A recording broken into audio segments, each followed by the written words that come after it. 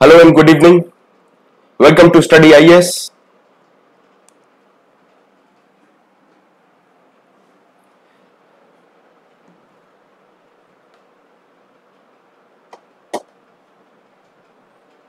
Om Pandey, Rakesh Shubhanshree Neha welcome स्वागत है आपका आज हम बात करेंगे वर्ल्ड वॉर के बारे में वर्ल्ड वॉर वन हमने खत्म कर लिया था वर्ल्ड वॉर वन के बाद की क्या सिचुएशन है उसके बारे में बात करेंगे और आगे हम चर्चा करने वाले हैं वर्ल्ड वॉर टू के बारे में।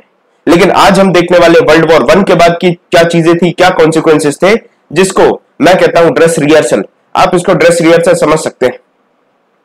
ये जो आपका वर्ल्ड वॉर वन हुआ था वर्ल्ड वॉर वन के बाद जो भी कॉन्सिक्वेंसेस थे, वो सारे वर्ल्ड वॉर वन के बाद के कॉन्सिक्वेंसेस एक तरीके से ड्रेस रिहर्सल थे आपके। देवर ड्रेस रिहर्सल फॉर किस चीज़ के लिए वो ड्रेस रिहर्सल थे, बताइए मुझे। क्या आपको पता है इसके आगे क्या होता है? वर्ल्ड वॉर वन के बाद क्या होने वाला है? आप सब जानते हैं इस चीज़ का जवाब कि वर्ल्ड वॉर वन में जो हुआ था, उसके बाद जो चीज़ें होती है, वो ड्रेस रिहर्सल हो जाती है आपकी वर्ल्ड वॉर टू के लिए। ये बात आप सब बहुत अच्छे से जानते हैं। राकेश, मैं बहुत बढ़िया हूँ। सौरभ जुड़ चुके हैं। Saurabh, Rakesh, Swati Rajya Lakshmi good evening to all बहुत बहुत स्वागत है आपका। तो यहाँ हम चर्चा वर्ल्ड वॉर वन की कर चुके थे। बहुत सारी चीज़ें हमने डिस्कस कर ली है यहाँ पर। आइए हम चालू करते हैं हमारा लेक्चर आज है हमारा lecture number nine lecture number nine है और लगभग हम वर्ल्ड हिस्ट्री जो आपका वर्ल्ड हिस्ट्री का पोर्शन है, बहुत सारी चीज़ें हम कवर कर चुके हैं। जी हाँ राकेश। ट्रीटी ऑफ़ वर्सिलीज बहुत बढ़िया। वर्ल्ड वॉर वन के बाद ट्रीटी ऑफ़ वर्सिलीज आती है। साथ में आप देखेंगे ग्रेट डिप्रेशन भी आने वाला है। लीग ऑफ़ नेशन भी बनने वाला है। ट्रीटी ऑफ़ सेवरिस जी हाँ। ये सारी चीज़ें जो आपका मैंडेट सिस्टम आता है, ये चालू हो जाता है। मैंडेट सिस्टम चालू हो जाता है।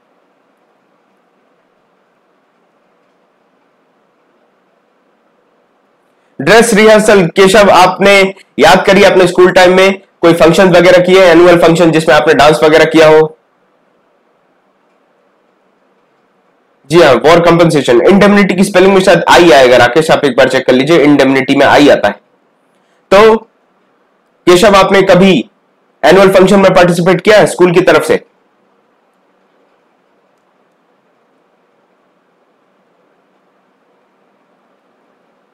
बताइए स्कूल की तरफ़ से क्या आपने पार्टिसिपेट किया है, केशव?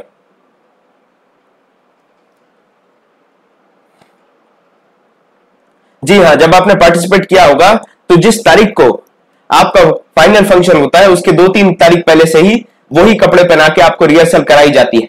दो तीन दिन पहले से वो कपड़े पहनाकर आपको रिहर्सल कराई जाती है एनुअल फ़ंक्शन के लिए।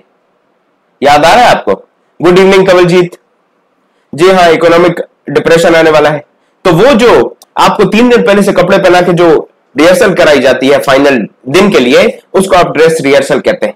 तो इसी तरीके से आप देखते हैं वर्ल्ड फोरम में वर्ल्ड के प्लेटफॉर्म पर आप देखें, दुनिया में आप देखें, इतनी सारी लड़ाई हो जाएँगी वर्ल्ड वॉर वन के बाद कि वो एक तरीके का ड्रेस रिहर्सल बन जाती है वर्ल्ड वॉर टू के लिए। क्लियर हुआ केशव ड्रेस रिहर्सल क्यों कहते हैं इसको? ये आपकी जो भी लड़ाइयाँ होंगी छोटी छोटी लड़ाई होने वाली Spanish war of Spanish war होने वाली है, और जो भी आपकी तमाम लड़ाइयाँ हैं, वो सारी लड़ाइयाँ जो बनेगी, वो ड्रेस रिहर्सल बन जाएँगी आपकी वर्ल्ड वॉर टू के लिए। Caliphate destroyed mandate system establish treaty of Sevres formation आप देख रहे हैं धीरे धीरे इसराइल में मूवमेंट चालू हो जाएगी यहूदियों की, जो भी आपका इलाका है फलस्तीन का, वहाँ पर यहूदी धीरे धीरे आने लगेंगे।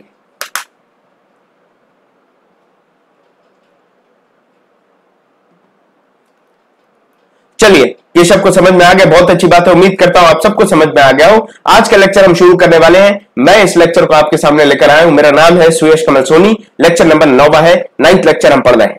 थोड़ी सी चर्चा मेरे बारे में, जो भी हमारे साथ नए जुड़े, उनको मैं बता दूँ, मैंने एमए किया है हिस्ट्री में। साथ ही साथ मैंने एमटेक किया इंडस्ट्रियल इंजीनियरिंग एंड मैनेजमेंट में और यूजीसी नेट भी क्वालिफाई किया है। साथ ही साथ जीआरई और टॉफिल भी मैंने क्वालिफाई किया है। इसके अलावा लगभग पाँच हज़ार छात्रों को मैं मार्गदर्शन देने में अभी तक सक्षम हो पाया आप देखिए, ये नंबर जो है इसको हमें, हमेशा याद रखना है, nine three five four double three double one three two.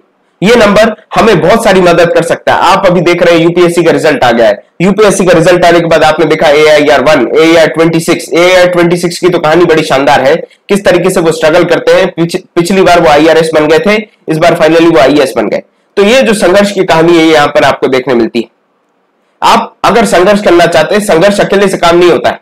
आपको मार्गदर्शन की भी ज़रूरत है और वो मार्गदर्शन आपको यहाँ से मिल सकता है, आपको अन अकेडमी पर मिल सकता है। एक से एक दिग्गज टीचर जिनको मैं खुद अपने पर्सनल लेवल पर फॉलो करता हूँ, चाहे मृणाल सर की बात करें सिद्धार्थ अरोड़ा सर की बात करें, और भी तमाम एक से एक जो आपके टीचर हैं, वो सारे आपको मिल जाएँगे अन अकेडमी पर। तो आपको अन अकेडमी प्लस का सब्सक्रिप्शन लेना है। उससे संबंधित कोई भी सवाल है तो आप अन अकेडमी से संबंधित सवालों के लिए यहाँ पर कॉल करें या व्हाट्सएप कर सकते हैं इस नंबर पे nine three five four double three double one three two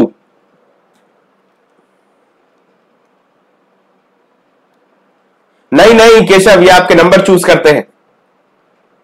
आपके रैंक और आपके नंबर पे ये डिपेंड करता है कि आपको क्या करना है। लेकिन आईएएस जो बंदा होगा, जिसका रैंक सबसे ज़्यादा है, उसको फिर भी चॉइस मिल जाती है। सामान्यता आप देखेंगे तो आपके नंबर्स के हिसाब से आपको रैंक्स मिलती हैं। आईपीएस आईएएस ये सारी चीज़ें आपको उसी हिसाब से मिलती है, अपने हिसाब से मिलती है। तो ये नंबर आपको याद रखना है। यहाँ से हमें क्या क्या चीज़ें मिल जाएँगी, जो भी आपको सवाल पूछना है, अपनी स्ट्रैटेजी से संबंधित पूछना है, तैयारी से संबंधित पूछना है टाइम टेबल से संबंधित कौन से एजुकेटर्स को फॉलो करना है, या फिर कितना प्राइस लगेगा आपको सब्सक्रिप्शन लेने का, ये सारी चर्चा आप इस नंबर पर कर सकते हैं। रिसेंटली आप देख रहे हैं रिवीजन कार्निवल चालू कर दिया गया है। प्रिलिम रिवीजन कार्निवल जो 2020 में हमारा अक्टूबर चार को पेपर है, उसकी तैयारी के लिए एक रिवीजन कार्निवल शुरू किया गया है अन अकेडमी के द्वारा। यहाँ पर स्पेशल क्लासेस लगने वाली है आपकी, और सेकेंड अक्टूबर से सेकेंड अगस्त से चालू हो चुकी। नहीं नहीं नहीं नहीं, केशव, ऐसा कुछ नहीं होता। वहाँ पर आपसे बस प्रायोरिटी पूछते हैं, आपकी प्रायोरिटी क्या है, आपकी प्रायोरिटी किस हिसाब से है, उस हिसाब से आप सिलेक्ट कर सकते हो। आप प्रायोरिटी में डाल देते हो कि अगर आपको सबसे पहले आपने फ़र्स्ट प्रायोरिटी डाल दी आई सेकंड प्रायोरिटी में आपने डाला आईपीएस थर्ड में आपने डाल दिया आईएफएस फिर आपको नंबर देखे जाते हैं, उस हिसाब से आपकी प्रायोरिटी को फुलफिल कर दिया जाता है। क्लियर हो रहा है? तो ये सारी चीज़ें आपको याद रखनी है। साठ दिन भी नहीं बचे हमारे एग्ज़ाम को। इसलिए हमें जल्दी से जल्दी अपनी तैयारी कंप्लीट करनी है रिवीजन वगैरह करना है, जिसमें अन अकेडमी प्लस आपको काफ़ी मदद कर सकता है। आपको टेस्ट सीरीज़ की बात करूँ या फिर आपके डाउट क्लियरेंस की बात करूँ या फिर पर्सनल सेशंस की बात करूँ, जिसमें आपके मेंटर जो है वो वन टू वन डिस्कशंस करेंगे। ये सारी चीज़ें। आपका कंप्लीट रिवीजन कराने में आपकी मदद की जाएगी यहाँ पर।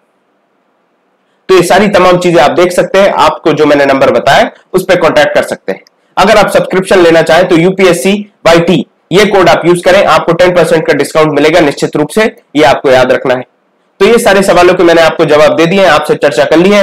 इसके अलावा भी अगर आपको कोई परेशानी होती है सब्जेक्ट से संबंधित अन अकेडमी के सब्सक्रिप्शन से संबंधित तो उसके लिए आप सीधा सीधा अमन सर से कॉन्टैक्ट कर सकते हैं। आप अमन सर से कॉन्टैक्ट करें और जो भी सवाल है आप उनसे पूछ सकते हैं। इसके अलावा मैंने आपको जो नंबर दिया उस पर भी आप नंबर घुमा सकते हैं। Nine three five four double three double one three two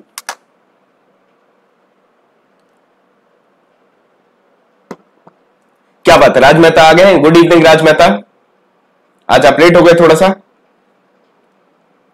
चलिए, अब हम बात करते हैं इंपीरियलिस्टिक यूएस की। याद आ रहा है आपको, मैंने इंपीरियलिज्म के बारे में बहुत सारी बातें बताई थी। पहले तो मैं आपसे सवाल पूछता हूँ, जरा मुझे बता दीजिए कि कोई भी कंट्री इंपीरियलिस्ट कब बन जाती है? इंपीरियलिज्म से पहले का क्या स्टेप है? What is the step before imperialism पंद्रह लोग देख रहे हैं मुझे, पंद्रह एस्पिरेंट्स देख रहे हैं। पंद्रह लोगों से मुझे जवाब चाहिए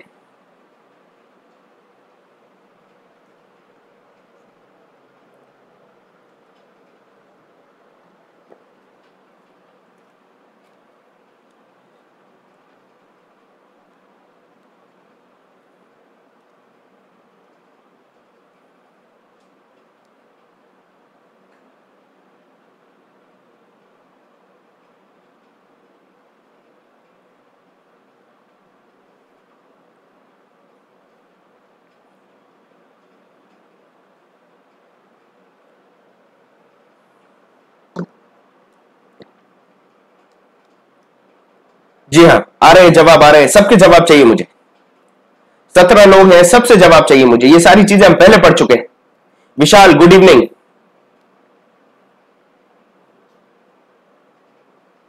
मैंने आप सबको बताया है कि पहले चाहे मैं यूनिफिकेशन ऑफ़ जर्मनी की बात करूँ यूनिफिकेशन ऑफ़ इटली की बात करूँ, या फिर मैं जापान की बात करूँ, हर जगह मैंने आपको एक चीज़ समझाने का प्रयास किया है। पहले कोई भी नेशन इंडस्ट्रियलाइज होता है, वो अपनी इंडस्ट्रीज़ को पॉपुलर करेगा पावरफुल करेगा, उसके बाद वो अपने इंपीरियल एम्बिशन को फुलफिल करने का प्रयास करता है। जी हाँ कवल जी, केशव। केशव ने क्या लिखा है? केशव मेरी बात नहीं समझ पाए, मैं आपसे ये चाह रहा जी हाँ सौरभ ज्योति, कहीं ना कहीं आप सही कह रहे हैं, लेकिन सबसे पहले इंपीरियलिज्म से जस्ट पहले अगर स्टेप देखा जाए तो वो आएगा आपका इंडस्ट्रियलिज्म इंडस्ट्रियलाइजेशन सॉरी लेकिन अगर आप स्टेट को ग्रो करने की बात करें तो स्टेट को ग्रो करने में सबसे पहला जो स्टेप होता है, वो होता है आपका स्टेबिलिटी एंड पीस तो ये डिफरेंस समझना है कि इंपीरियलिज्म से जस्ट पहले इंडस्ट्रियलाइजेशन आता है. इंडस्ट्रियलाइजेशन से पहले क्या आने वाला है? आपका skill development education stability economic development ठीक है?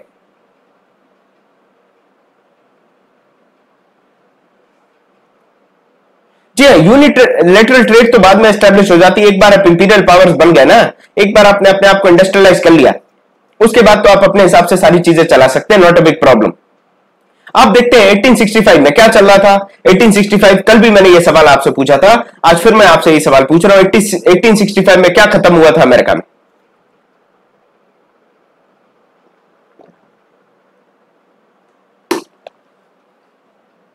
अमेरिका में 1865 में क्या खत्म हो गया था?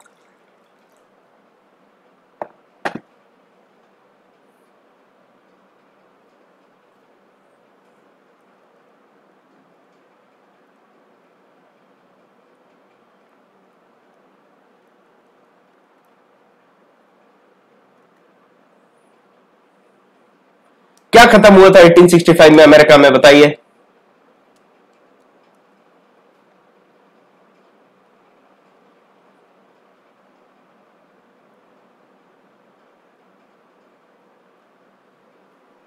मैं खत्म होने की बात कर रहा हूँ, राकेश। क्या शुरू शुरू हुआ था? मैं ये नहीं पूछ रहा हूँ आपसे।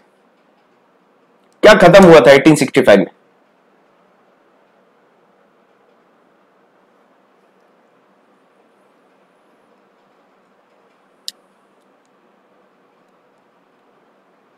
जी हाँ मेरे पास जवाब आना चालू हो गए। बताते चलिए मुझे डिस्कस करते चलिए। 1863 के बारे में मैंने आपको बताया था। मैंने आपको गेटिसबर्ग की स्पीच के बारे में भी बताया था। बड़ी महान स्पीच गेटिसबर्ग में जो दी गई थी, जिसमें डेमोक्रेसी को डिफाइन किया गया था। डेमोक्रेसी को डिफाइन किया गया था।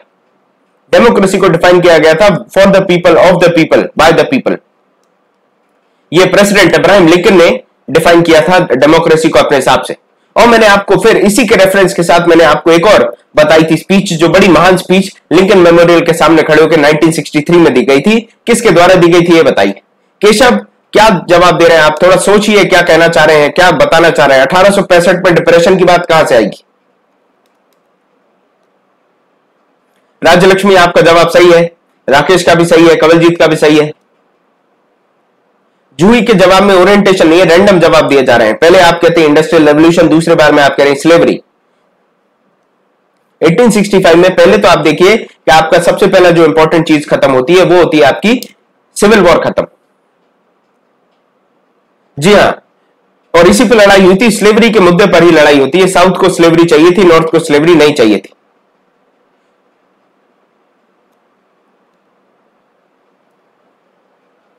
साउथ को स्लेवरी चाहिए है south is pro slavery and north is anti slavery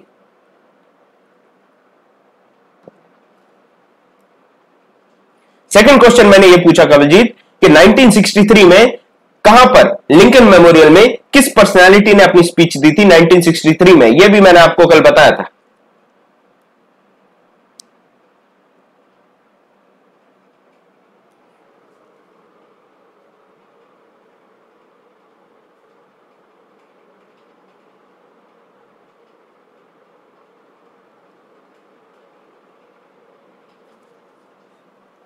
Okay, I'll clear it for you, Rajlakshmi. Particularly, what I'm asking is 1863 was the Gettysburg speech of Abraham Lincoln. 1863, Abraham Lincoln gave his Gettysburg speech. Similarly, in 1963, standing in front of the Lincoln Memorial, which personality gave a very good speech over slavery and racism? ये मेरा question है जी हाँ Martin Luther king ही कहते हैं generally वैसे उसको आप junior भी लिख सकते हैं। मार्टिन लूथर किंग जूनियर जी हाँ राकेश, आपने जस्ट उल्टा लिख दिया उसको।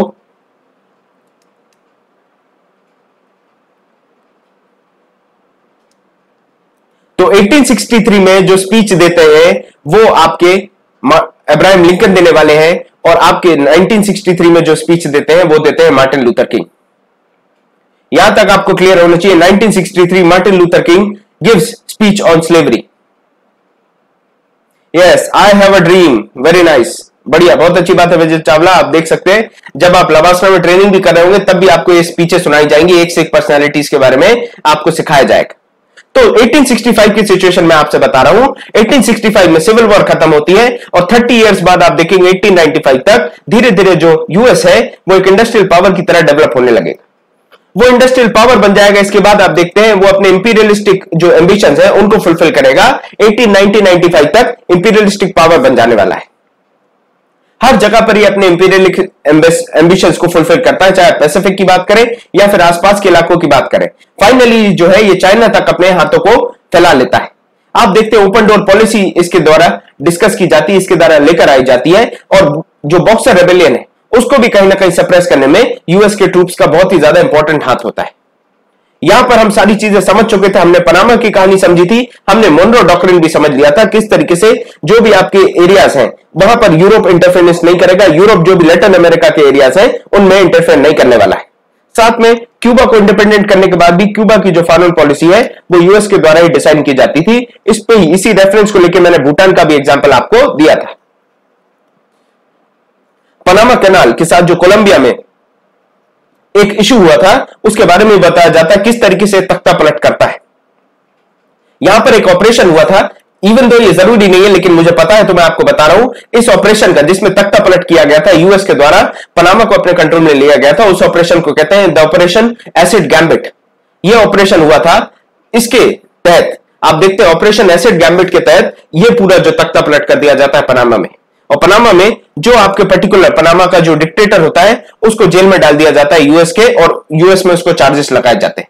तो ऑपरेशन एसिड गैम्बिट हुआ था, जिसके बाद से जो पनामा है, वो पनामा कंट्रोल में आ गया था। कोलंबिया से इसको अलग कर दिया, उसके बाद कंट्रोल में आ गया यूएस के और फाइनली यूएस में जब तख्ता पलट होता है तो वो आपका ऑपरेशन एसिड गैम्बिट होता है। पनामा को अपने कंट्रोल में ले लेंगे। पनामा बहुत ही इंपॉर्टेंट एक सेक्शन था, जहाँ से आप पैसिफिक और अटलांटिक दोनों को कनेक्ट कर सकते हैं। तो पनामा एक इंपॉर्टेंट जगह है। दूसरा इंपॉर्टेंट कैनाल या फिर दूसरे इंपॉर्टेंट स्टेट आप मुझे बता दीजिए जरा कमेंट सेक्शन में। और कौन कौन से इंपॉर्टेंट ऐसे स्टेट्स हैं जो इंपॉर्टेंट लोकेशन के स्ट्रेटेजिक लोकेशन पर है?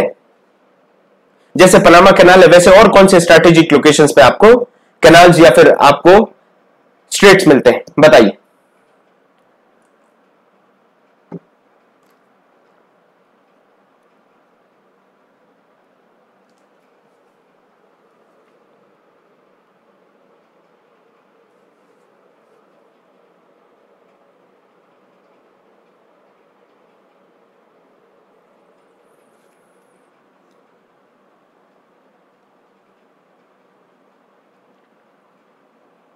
जी हाँ जवाब आना शुरू हो गए बहुत बढ़िया। केशव का जवाब आ गया। बाकी लोग भी बताइए, कौन सी स्ट्रेटेजिक लोकेशंस है? इंडिया के पास भी बहुत सारी ऐसी स्ट्रेटेजिक लोकेशंस है मेडिटेरेनियन के पास भी है, और भी जगह पर स्ट्रेटेजिक लोकेशंस है। आप मुझे बताइए स्टेट्स के बारे में जो बहुत ही ज़्यादा स्ट्रेटेजिकली इंपॉर्टेंट है। साथ में आप मुझे कैनाल्स के बारे में भी बता रहे हैं, बताते चलिए मुझे।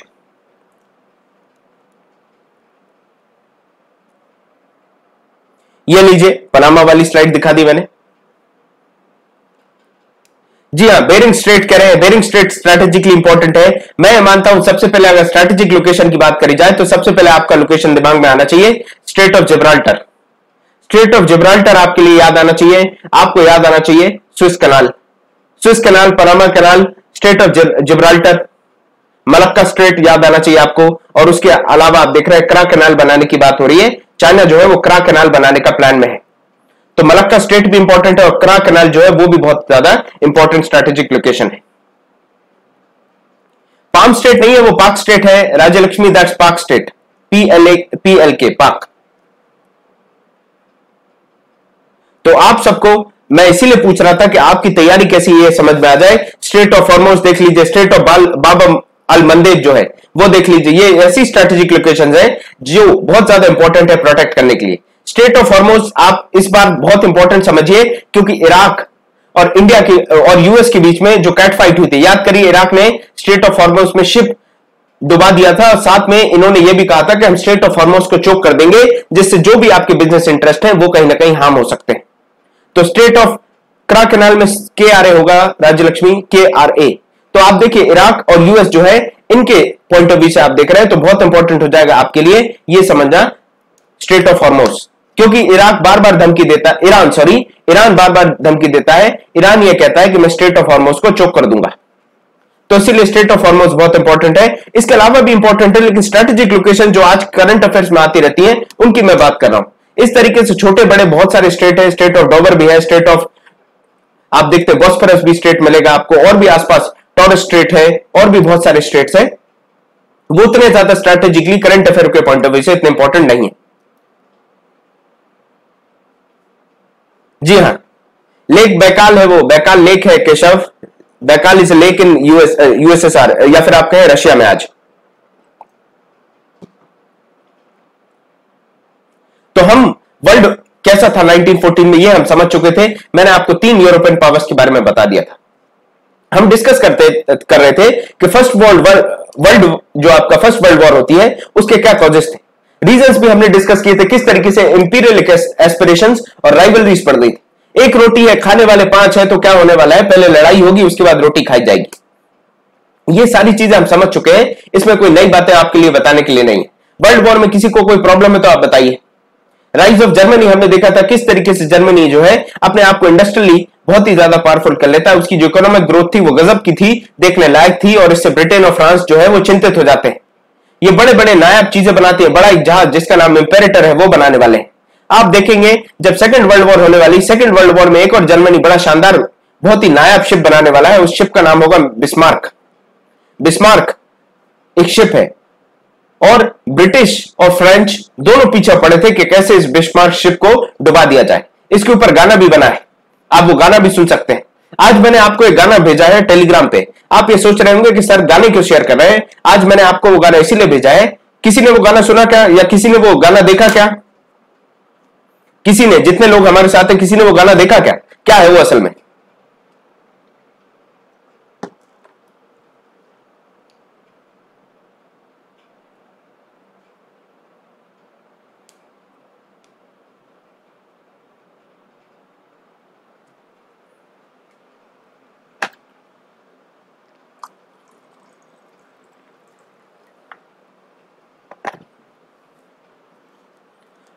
राम कुमार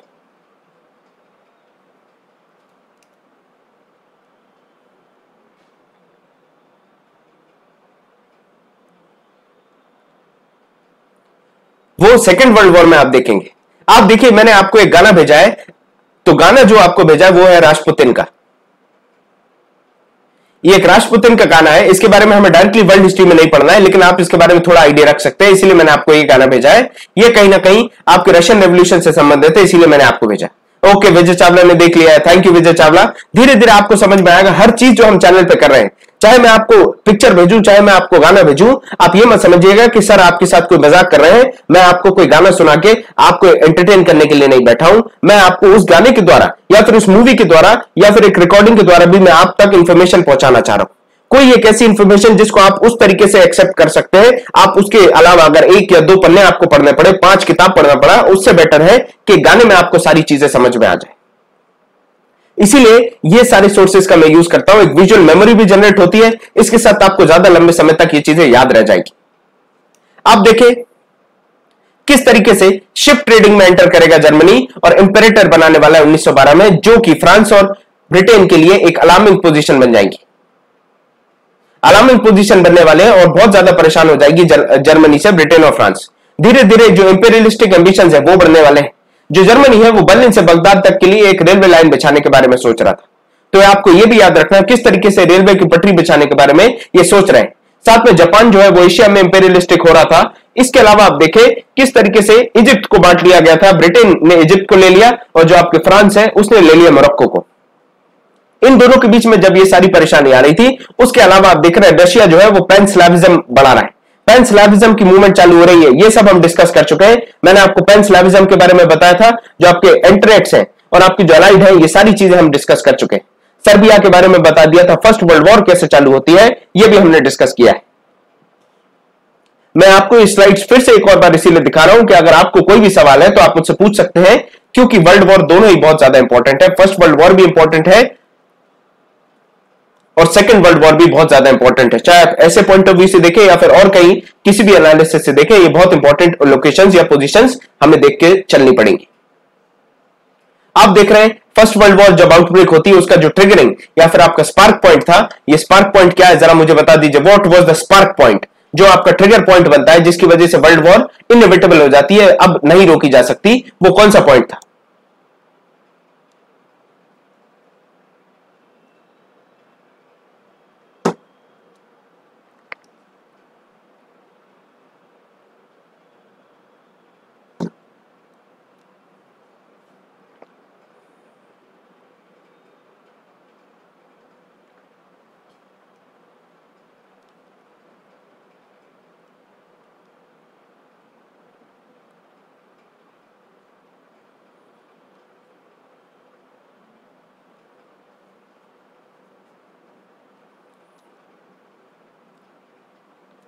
जी हाँ आपको समझ में आ गया, जो आर्च ड्यूक फ्रांसिस फर्डिनेंट है, इनको असैसिनेट कर दिया गया, जो राजा बनने वाले थे आपके ऑस्ट्रिया हंगरी के, ये राजा बन सकते थे, लेकिन इनको मार डाला जाता है।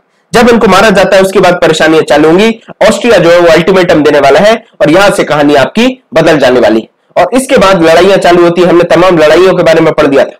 हमने आपको एक मूवी के बारे में भी बताया था 1917 जिससे आपको लड़ाई के बारे में पता चल सकता है। हमने आपको बताया किस तरीके से ये गड्ढे खोद खोद कर लड़ाई करते थे। इसके बाद जो नई नई चीज़ें नए नए इनोवेशन जो आने लगे थे, उसके बारे में भी हमने डिस्कशन किया था। याद करिए एयरप्लेन की बात करी थी यू बोट्स की बात करी थी, मैंने आपको इसके लिए भी मूवी बताई थी कि आप यू बोट का अगर आपको अंडरस्टैंडिंग देखनी है तो आप ग्रे हाउंड मूवी देख सकते हैं। आपको साफ़ साफ़ यू बोट दिखाई गई है। बड़े क्लियरली आप यू बोट देख सकते हैं और आपको समझ में आएगा यू बोट होती कैसी है और किस तरीके से शिप्स जो है वो लड़ाइयाँ करते थे। वहाँ टैंक्स भी इनोवेटिव हो जाते हैं। टैंक्स जो है वो ब्रिटेन लेकर आता है और धीरे धीरे आप देखेंगे ये फाइट में वॉर में बहुत इंपॉर्टेंट हो जाते हैं। आप देखेंगे एयरप्लेन्स का भी यूज़ किया जाता है जो आपके सिविलियंस हैं, उन पर बॉम्बिंग करने के लिए। फायर जो आपके वेपन्स होते हैं लिक्विड फायर वेपन्स होते हैं, उनका भी यूज़ किया जाएगा। मशीन गन्स का भी बहुत ज़ोर ज़ोर से यूज़ किया जाएगा। ये देखिए टैंक का सीन है, किस तरीके से टैंक इसमें फंस गया इस ट्रेंच में जाके इस गड्ढे में जाकर आपका जो टैंक है, वो फंस जाने वाला है। ये सारी चीज़ें हमने देखी, हमने आपसे बात किया था, क्यों? रशिया विड्रॉ कर देता है। रशिया की जो पॉपुलेशन थी, जो रेवोल्यूशन कर रहे थे लोग, वो शुरू से ही वॉर के हित में नहीं थे, वो नहीं लड़ाई, लड़ना चाह रहे थे। लेकिन 1917 तक आप देखते हैं वॉर से विड्रॉ कर लेने वाले हैं और नो इंडेमनेशन या इनको ना कंपनसेशन नहीं, ना ना इनको कोई जगह को एनेक्स करना है, ये सारी चीज़ों से बाहर आते हैं पीस ट्रीटी साइन करते हैं। पीस ट्रीटी साइन करने के अलावा जर्मनी के साथ भी पीस ट्रीटी साइन करेंगे, लेकिन उसके बाद इनको काफ़ी ठगा महसूस होता है, इनको काफ़ी नुकसान होता है उस चीज़ से। जी हाँ बहुत बढ़िया बहुत बढ़िया आपको स्वाति, आपको याद आ गया। बॉयनेट जो आपकी बॉयनेट राइफल है, वो सारी चीज़ें भी मैंने आपको बताई थी, बहुत बढ़िया।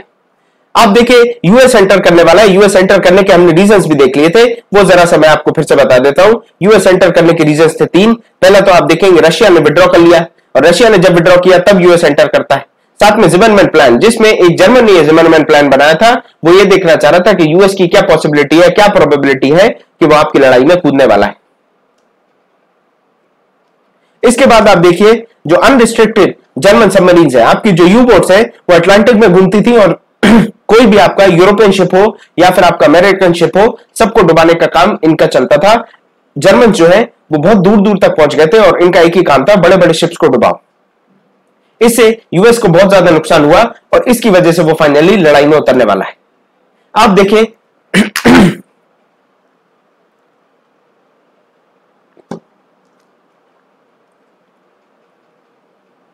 आप देखिए किस तरीके से यूएस एक पावरफुल कंट्री की तरह इमर्ज होता है वर्ल्ड वॉर वन के बाद। तो मैंने आपको बताया था, पहले तो इन्हें भारी लोन देकर रखा है। इनको ये लोन वापस मिलने वाला है। साथ में आप देखते हैं इनकी ज़मीन पर लड़ाई नहीं लड़ी जा रही है तो इनका इंफ्रास्ट्रक्चर बिल्कुल भी डैमेज नहीं होने वाला है। जब इनका इंफ्रास्ट्रक्चर डैमेज नहीं होने वाला, इनकी ज़मीन पर लड़ाई नहीं होने वाली, साथ में यूएस की जो मिलिट्री है, वो भी काफ़ी लेट एंटर करने वाली तो उनको वॉर में जो लॉसेस होते हैं, वो भी नहीं होने वाले। इसके अलावा ये जोरदार तरीके से आर्म्स वगैरह बेच रहे हैं, इससे भी इनको काफ़ी पैसा आने वाला है। और ये सारी चीज़ें यूएस को एक इंपॉर्टेंट ग्लोबल पावर के तौर पर एस्टेब्लिश करेंगी वर्ल्ड वॉर वन के बाद। इंपीरियलिज्म उसके बाद भी चलने वाला है मैंडेट सिस्टम आ जाते हैं। इसके बारे में मैंने आपको बता दिया था, हमने बहुत सारी चीज़ें इसके रेफरेंस में डिस्कस कर ली थी, किस तरीके से आपका ऑटोमन एम्पायर को तोड़ दिया जाता है, बांट दिया जाता है। हम बात करना चाह रहे थे आपसे, क्या इंपैक्ट पड़ता है, लोगों की क्या सोच बन जाती है? आप यहाँ पर देखिए वर्ल्ड वॉर वन खत्म हो रही है। वर्ल्ड वॉर वन खत्म होने के बाद एक बहुत ही शानदार पोएट है। इनके बारे में आप याद रखें नॉवल राइटर है या आप कहीं भी इनको कोट कर सकते हैं। इनका नाम है अर्नेस्ट हेमिंगवे इनको आपको याद रखना है। आप देखिए, जब भी इंपॉर्टेंट कोई आदमी आता है, इसको आपको हमेशा याद रखना है अनेस्ट हेमिंगवे इन्होंने बहुत सारी किताबें लिखी। He was very critical and he denounced war इन्होंने वॉर को इतना ज़्यादा क्रिटिसाइज किया, इतना ज़्यादा डिनाउंस किया, जिसका हिसाब नहीं है। बल्कि एक टाइम ये भी लड़े थे, उसके बाद ये इसको डिनाउंस करते हैं। अर्नेस्ट हेमिंगवे की एक बड़ी शानदार बुक है the old man and the sea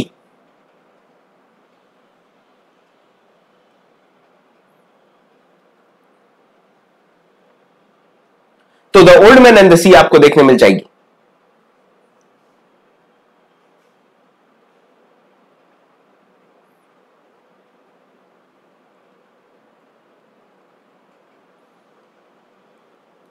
Ernest Hemingway के बारे में मैंने आपको बता दिया, इनके बारे में आप सुन सकते हैं इन्हें काफ़ी डिनाउंस किया।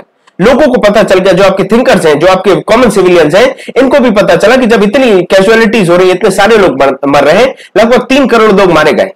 और ये आपके ऑफिशियल डाटा है, आप समझते हैं अनऑफिशियली और सोशली कितना ज़्यादा असर पड़ता है इस चीज़ का। सॉरी ये आप राइटिंग की वजह से आपको लग रहा है this is Ernest E R N E S T Ernest Hemingway इनकी आप बुक पढ़ सकते हैं the old man and the sea बड़ी शानदार बुक है, बड़ी मतलब आपको समझ में आएगा ज़िंदगी का असली फलसफा क्या होता है। इसके ऊपर कुछ मूवीज़ भी बनी है, लेकिन बेटर होगा कि अगर आपको टाइम मिले, ये बुक पढ़ ले। बहुत पतली सी बुक है, जल्दी कंप्लीट हो जाती है। यहाँ पर आप देखिए अर्नेस्ट हेमिंगवे के बारे में मैं बात कर रहा था, और भी लोग इसको क्रिटिसाइज करने वाले हैं। आप देखें, बहुत सारी सिटीज़ जो है, वो खत्म हो जाने वाली है, बहुत सारी चीज़ें खत्म हो जाने वाली है। इसकी वजह से धीरे धीरे लोग रोमांटिसिज्म की बात करेंगे लिटरेचर डेवलप होने लगे ह्यूमन अप्रोच आने वाला है चीज़ों के लिए। वर्ल्ड वॉर वन की जो ट्रेजिडी हुई, इसको लोग ऐसा समझते हैं कि इसको कहीं ना कहीं डिनाई कर दिया जा सकता था, इसकी ज़रूरत नहीं थी, लड़ाई होने की ज़रूरत नहीं थी। इसके बाद भी बहुत सारी चीज़ें ऐसी होती है, बहुत सी ऐसी सोशियो इकोनॉमिक कंडीशंस डेवलप होंगी, जो आपके वर्ल्ड वॉर टू होने के लिए इनएविटेबल बना देंगे, ऐसी सिचुएशन बनाते हैं कि देर वॉज़ अ पॉसिबिलिटी कि एक और लड़ाई हो जाए। ये आपके इंपैक्ट नॉर्मल पब्लिक को देखने मिलते हैं। रशिया जो है, रशिया के अंदर तब भी कहीं भी पीस सेटल नहीं हो रहा है। पीस तब भी नहीं आ रहा है। आप देखेंगे नेगोशिएशन नहीं हो रही पीस नहीं आ रहा है, क्योंकि इसको वर्सलीस बुलाया नहीं गया। इससे ज़्यादा बात नहीं करी गई और उसको इग्नोर कर दिया गया। हमने पहले ये देख चुके हैं पिछले लेक्चर में। यूरोप की इकोनॉमी जो है, वो भी बहुत ज़्यादा सफ़र होने वाले, करने वाली है। क्यों? क्योंकि लड़ाई के बाद आपको इंफ्रास्ट्रक्चर डेवलपमेंट करना है और पूरी जो इकोनॉमी है, वो शैम्बल्स में है। क्योंकि लोग काम तो कर नहीं रहे, व्यापार तो चल नहीं रहे आप लड़ाई करते हैं तो आपकी इकोनॉमी एकदम रुक जाती है। यूरोपियन नेशन जो है, वो यूएस ने जितना भी लोन दिया था, उसी पर डिपेंड करने वाले हैं। साथ में आप देखते हैं जो आपका ऑटोमन एम्पायर डिसमेंबर्ड हुआ है। उस एटमन एम्पायर के डिसमेंबरमेंट के बाद बहुत सारी जो जगह हैं आपकी, जो नई टर्की के नेशन हैं, उनको भी आपको कंट्रोल करना है, उनको भी कहीं ना कहीं मैंडेट सिस्टम के थ्रू डिवाइड कर लिया जा रहा है।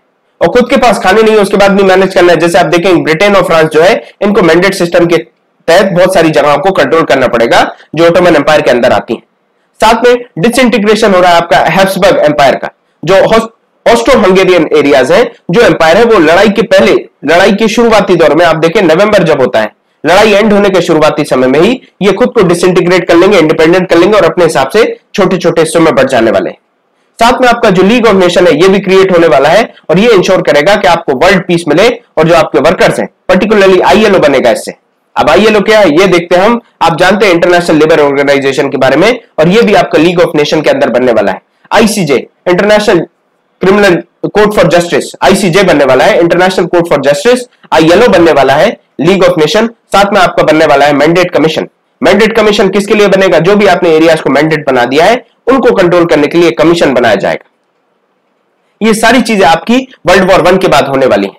तो वर्ल्ड वॉर वन के बाद की सिचुएशंस आप समझ रहे हैं धीरे धीरे अब हम पढ़ने वाले लीग ऑफ़ नेशंस के बारे में, जो बनाई जाती है आपकी विल्सन वुड्रो के द्वारा, या फिर वुड्रो विल्सन के 14 पॉइंट्स के अनुसार ये बनाई जाएगी।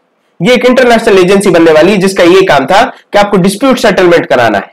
आप डिस्प्यूट सेटलमेंट करा देंगे तो लड़ाई नहीं होने वाली। आगे ये बेसिक इसका प्रिंसिपल था। आपकी और मेरी अगर कोई भी प्रॉब्लम है, कोई भी डिस्प्यूट है, अगर उसको सेटल करा दिया जाए ऑन टेबल तो लड़ाई नहीं होगी। इतना सारा जो लॉस हुआ, वो सारी चीज़ें नहीं होने वाली। और यहाँ पर आप देखेंगे कुछ कलेक्टिव प्रिंसिपल्स बनाए गए सिक्योरिटी के लिए। बहुत सारे जो नेशन हैं, उनको मेंबर बनाया जाएगा और उनसे फिर बात करी जाएगी कि आपको लड़ाई को कैसे रोकना है, कैसे आपको प्रिवेंट करना है वॉर को। साथ में इकोनॉमी और सोशल वर्क में भी ये लीग ऑफ़ नेशंस अपना रोल प्ले करने वाला है। ये कुछ इंपॉर्टेंट ऑर्गेनाइजेशन बनाते हैं, जैसे इंटरनेशनल लेबर ऑर्गेनाइजेशन के बारे में मैंने कहा। ये आपके वेलफेयर में काम करेंगे। वेलफेयर जो आपके वर्कर्स हैं, उनके वेलफेयर के लिए काम करने वाले हैं। और भी बहुत सारी ऑर्गेनाइजेशन इससे डेवलप होने वाली हैं, जो कि काम करने वाली हैं आपको दुनिया को और पीसफुल बनाने का। अब 14 पॉइंट जो आपके वोड्रो विल्सन के, इनके बारे में जरा हम देख ले। 14 पॉइंट में आप देखें, सबसे पहले एबोलिशन ऑफ़ सीक्रेट डिप्लोमेसी अब सीक्रेट डिप्लोमेसी क्या होती है? जरा मुझे बता दीजिए, एक आध एग्ज़ाम्पल दे दीजिए।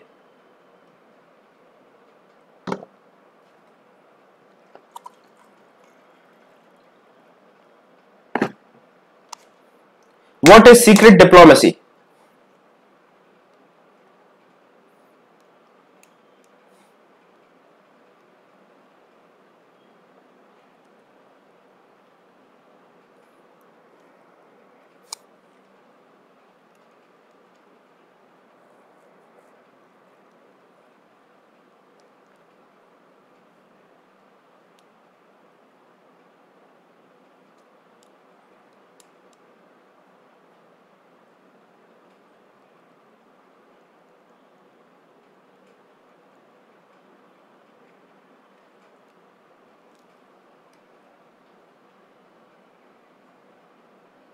बताते चलिए मुझे सीक्रेट डिप्लोमेसी क्या है?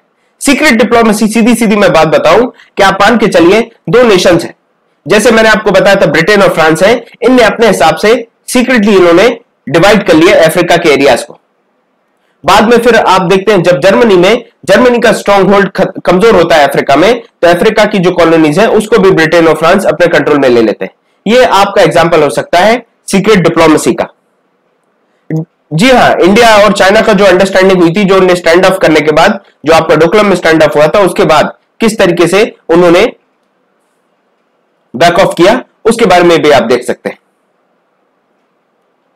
साथ में फ्री नेविगेशन की बात करी जाती कि ये दुनिया के जितने भी सीज हैं आपके, इन सब में फ्री नेविगेशन होने वाली है।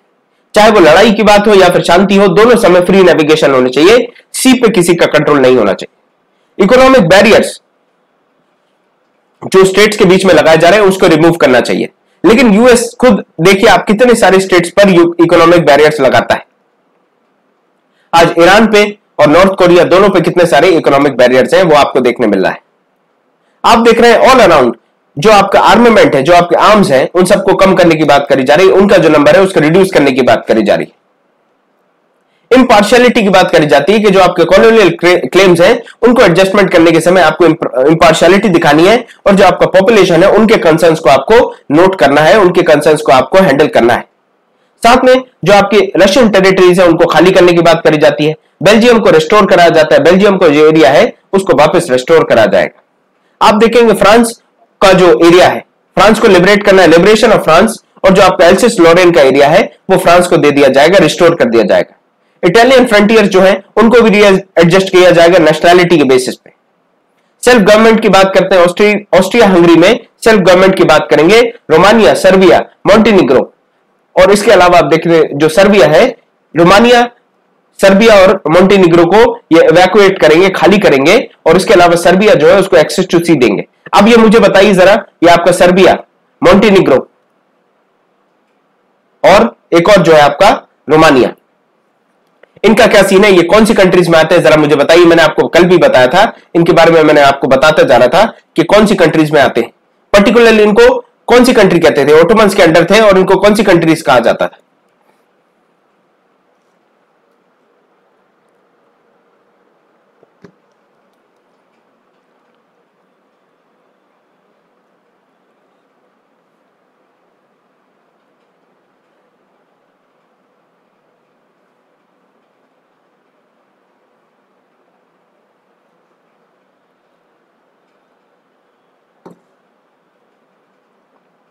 विजय चावला स्पेलिंग सुधारे। सब लोग, पंद्रह लोग देख रहे हैं मुझे, मैं सबसे उम्मीद रखता हूँ आप सब जवाब देने वाले जी हाँ बहुत बढ़िया। स्वाति स्पेलिंग गलत है, आपका आंसर सही है। विजय चावला का भी आंसर सही है। ओम, राकेश, जूही, बहुत बढ़िया। इन सबको आप बाल्कन कंट्रीज़ कहते हैं। आप चाहे, मैंने आपको बताया था जो European countries European Balkan countries है, या फिर फिर जो आपके ऑटोमन एम्पायर के जो यूरोपियन पोजेशन है, इन सब में लड़ाई होने वाली है। जी हाँ विजय चावला राज्य लक्ष्मी बहुत बढ़िया। स्पेलिंग बस का ध्यान दे दें, कमलजीत, बहुत बढ़िया।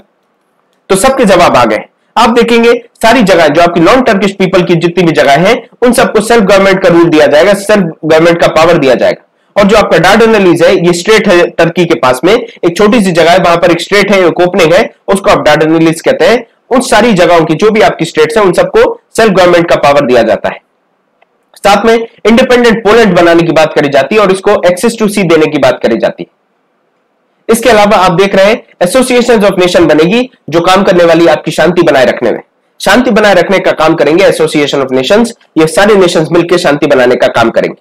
अब हम लीग ऑफ़ नेशंस की बात करें तो लीग ऑफ़ नेशंस के अंदर कौन कौन सी पार्टीज़ थी?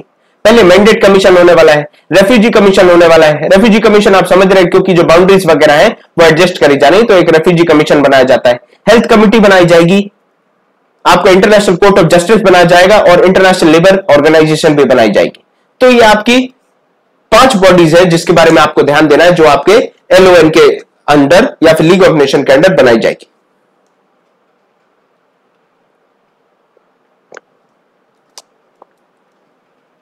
यहाँ तक क्लियर है? अब हम बात करें जरा सा एनालिसिस करना ज़रूरी है लीग ऑफ़ नेशन के बारे में, क्योंकि आप देखेंगे मेंस में इस तरीके के सवाल आते हैं। लीग ऑफ़ नेशन के बारे में पूछा जाता है नाम के बारे में पूछा जाता है यूएन के बारे में पूछा जाएगा। जो भी आपकी इंपॉर्टेंट इंटरनेशनल बॉडीज बनाई जाती है इंटरनेशनल इंस्टीट्यूशन बनाई जाती है, उनके सक्सेस के, उनके फेलियर्स के और उनके लूप होल्स के बारे में बार बार पूछा जाता है। तो यहाँ पर आप देखें इंटरनेशनल लेबर ऑर्गेनाइजेशन की बात करी जाए। यहाँ पर बताया गया कि जो मैक्सिमम डेज़ है वर्कर्स के, वो फिक्स करने हैं मिनिमम वेजेस कितने है, वो फिक्स करने हैं। लेकिन आज भी आप देखें क्या ये सारी चीज़ें फिक्स हैं। आप लोग बताइए क्या मिनिमम वेजेस फिक्स हैं लेबर्स के?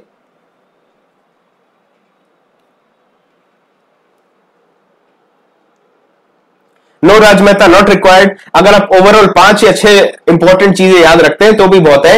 मेरे हिसाब से आपको बिल्कुल ध्यान देने की ज़रूरत नहीं आपको इतना याद रखना है कि 14 पॉइंट वोड्रो विल्सन के द्वारा दिए गए थे।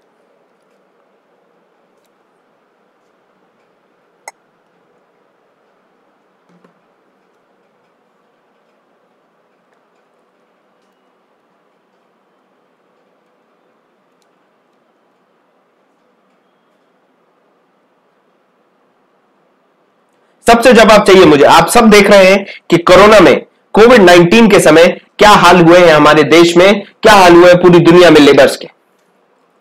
ये चीज़ मैं आपको बताना चाहता हूँ। आप जब पढ़ेंगे, आपको पता चलेगा कि जो आपके लेबर की मिनिमम वेजेस है नागालैंड में और जो आपकी मिनिमम वेजेस आपको मिलेंगे लेबर के केरला में, दोनों में ज़मीन आसमान का अंतर आपको मिलेगा। ज़मीन आसमान का अंतर इस तरीके से मिलेगा। नागालैंड में वो वन फिफ्टी रुपीज़ है तो केरला में मिनिमम जो आपके वेजेस है, वो सिक्स हंड्रेड रुपीज़ है। इतना ज़्यादा वेरिएशन है। तो आप देख पा रहे हैं, हमारे पूरे देश में मिनिमम वेजेस नहीं है। आप पूरी दुनिया की बात करें, अगर तो दुनिया में किस तरीके से फिक्स करे जाएँगे? आईएलओ कैसे फिक्स करने वाला है इस चीज़ को? आप देखेंगे ओल्ड एज पेंशन की बात करी जा रही है बूढ़े लोगों को पेंशन देने की बात करी जा रही। है जरा इस सवाल पे आ जाएगी आप देखिए, क्या सबको पेंशन मिल रही है? जो आपका गवर्नमेंट सर्वेंट है, उन्हीं को सिर्फ़ पेंशन मिल रही है। उसके अलावा प्राइवेट में आपको पेंशन का ऐसा कोई व्यवस्था मिलती है? या फिर आपको लेबर्स में आपको ये देखने मिले कि लेबर्स को पेंशन मिल रही है?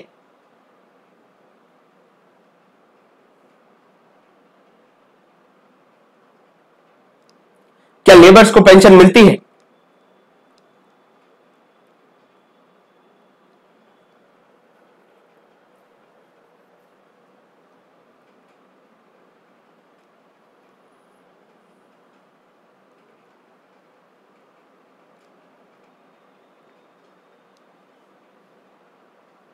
यहाँ पर ऐसी कोई व्यवस्था नहीं है। ना मिनिमम वेजेस की बात करेंगे, ना ये पेंशन की बात करेंगे। हर जगह शोषण हो रहा है और आज भी 1918 की बात कर रहे हैं। आज हम 100 साल आगे आ गए हम 2020 में हैं, लेकिन आज भी ये जो चीज़ें लीग ऑफ़ नेशन ने बताई थी, वो हमारे पास नहीं है।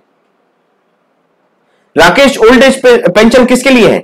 ओल्ड एज पेंशन उनके लिए जो उस पर्टिकुलर गैम्बिट में आ रहे हैं, जो उस पर्टिकुलर सेट में आ रहे हैं। क्या ओवरऑल सारे लेबर्स के लिए ऑफिशियल अनऑफिशियल ओवरऑल आप देखेंगे तो इको वोकली आपको पेंशन नहीं देखने मिलने वाली। वही मैं आपसे कह रहा हूँ गवर्नमेंट एम्प्लॉयज़ बस को मिल रही है, लेकिन जो आपके नॉन ऑफिशियल एम्प्लॉयज़ हैं, आप देख रहे हैं कितने सारे नॉन ऑफिशियल लोग काम करते हैं एमएसएमई कितनी सारी चलती है, उन सबको ना तो फिक्स मिनिमम वेजेस है, ना उनका वर्किंग डेज़ फिक्स है, ना उनका पेंशन फिक्स है, ना उनको अदर इंपॉर्टेंट सोशल सिक्योरिटीज दी जा रही है। यहाँ पर आप देखेंगे वेलफेयर ऑफ़ द वर्कर्स के लिए काम करा जा रहा है, ये कहते हैं आईएलओ में। आगे आप देखिए रेफ्यूजी ऑर्गेनाइजेशन जो है, वो आपके प्रिजनर ऑफ़ वॉर जो आपके रशिया में है, उनको अपने अपने जगहों पर भेजेगा अपने अपनी जगहों तक भेजने का काम करेगा। 1933 में आप देखते हैं, जो आपके ज्यूस है, ये धीरे धीरे नाजी प्रोसिक्यूशन से भी निकलते हैं तो उसमें भी कहीं ना कहीं रेफ्यूजी ऑर्गेनाइजेशन का काम होता है। इनको भी अलग अलग कंट्रीज़ में रिसेटल करने का काम रेफ्यूजी ऑर्गेनाइजेशन करती है।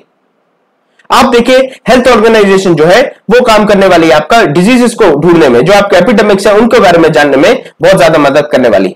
जो आपका ट्रेंच वॉरफेयर हो रहा था, उसमें बहुत सारी बीमारियाँ भी फैलती हैं। क्योंकि आप उसी गंदी सी गली में, एक गली जो आपका सकरा से गड्ढा है, उसमें आप रह रहे आपका सैनिटेशन के लिए कोई प्रॉपर व्यवस्थाएँ नहीं करी जाएँगी। कोई प्रॉपर टॉयलेट फैसिलिटीज़ नहीं होने वाली। बारिश होने वाली तो वहीं पर आपका कीचड़, मार्शी एरिया बन जाने वाला है। ये सारे चैलेंजेस आने वाले हैं। अब देखिए किस तरीके से टाइफस को आपको कॉम्बैट करना है। जो आपकी टाइफस आपका एपिडेमिक है, इसके बारे में बताया जाता है, जो रशिया में फैल रहा है, इसके स्प्रेड को रोकने की बात करी जाती है, किस तरीके से सक्सेसफुली इसको रोका जाता है। मैंडेट कमीशन जो आपका आता है मैंडेट कमीशन की रिस्पॉन्सिबिलिटी थी कि आपको गवर्नेंस मॉनिटर करनी है, जहाँ पर भी आपकी टेरिटरीज है मैंडेट मेंबर्स की जो टेरिटरीज है, उनके आपको गवर्नेंस को मैनेज करना है, चाहे आप ऑटोमन एम्पायर की बात करें जर्मनी की बात करें। इसके लिए अलग से कमीशन बनाया गया।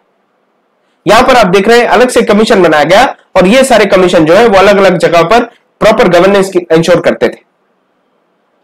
आगे आप देखें resolution in minor international dispute की बात करें तो आप देख रहे हैं, जो भी आपकी स्मॉल कंट्रीज़ के बीच में इश्यूज़ आएँगे, उनके डिस्प्यूट्स को सॉल्व किया जाएगा, जो आपके छोटे छोटे डिस्प्यूट्स हैं, उन सबको सॉल्व आउट किया जाएगा। इसके अलावा वर्ल्ड पीस के लिए, अगर कोई बड़ा डिस्प्यूट बनता है थ्रेटन कर सकता है, उसको भी आप कहेंगे कि आप ऑन द टेबल डिस्कस कर लें। मेजर पावर्स जो है लीग के, ये हमेशा एक इंपॉर्टेंट रोल प्ले करने वाले हैं, इनको इन्वॉल्व कर लिया गया। जी हाँ स्पेनिश फ्लू हो रहा है।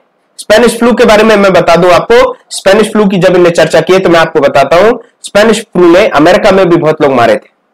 अमेरिका में भी बहुत लोग मरे थे, लेकिन आप इंडिया में भरोसा नहीं करेंगे। इंडिया में लगभग गेस करिए, कितने लोग मरे होंगे इंडिया में स्पेनिश फ्लू से? 1922 1922 के आसपास 1922 से 25 तक के स्पेनिश फ्लू में कितने इंडियंस मर गए होंगे? गेस करिए।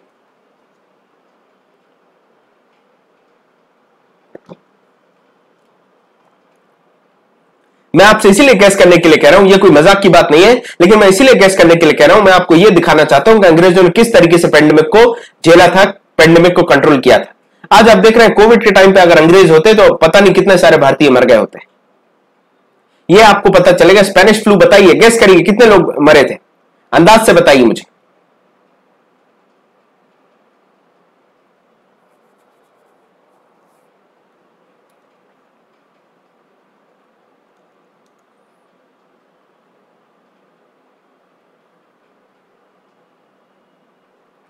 जी हाँ जी हाँ विजय चावला। गैस करिए, बताइए जल्दी। बारह लोग देख रहे हैं, सबसे जवाब चाहिए मुझे। पाँच हज़ार से दस हज़ार के बीच में। ओके। राज मेहता बता रहे एक करोड़। राज मेहता, क्या आपका जवाब गलत है? एक लाख लोग बता रहे केशव। सब लोग मुझे बताइए, सब गैस करके बताइए, कितने भारतीयों की जान गई होगी स्पेनिश फ्लू में? 1922 के स्पेनिश फ्लू में कितने भारतीयों ने अपनी जान गवाई? जूही ने बताया दस लाख, राज मेहता ने बताया एक करोड़। ओम ने बताया पाँच हज़ार से दस हज़ार के बीच में। बाकी लोग? Swati Singh, one lakh. In lakh sorry मतलब लाखों की तादाद में। अब मैं आपको बताऊँ, लगभग one crore Indians died due to Spanish flu one crore. इसका मतलब यह है कि राज मेहता का जवाब सही होता है। एक करोड़ भारतीयों ने अपना जीवन खो दिया था, गवा दिया था स्पेनिश फ्लू के चलते। अब आप इससे समझ सकते हैं कि ब्रिटिश का किस तरीके का सिस्टम था पेंडेमिक को एपिडेमिक को कंट्रोल करने का जो उनका सिस्टम था, वो कैसा होगा कि एक करोड़ भारतीयों ने अपनी जान गवा दी।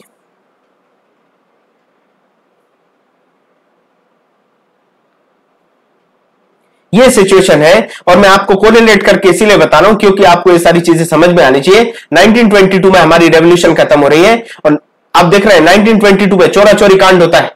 चोरा चोरी होने के बाद क्या होने वाला है? नॉन कॉपरेशन मूवमेंट को खत्म कर दिया जाता है। और 1922 से क्या चालू हो रहा है आपका? यहाँ पर आप देख रहे हैं स्पेनिश फ्लू भी चालू हो रहा है।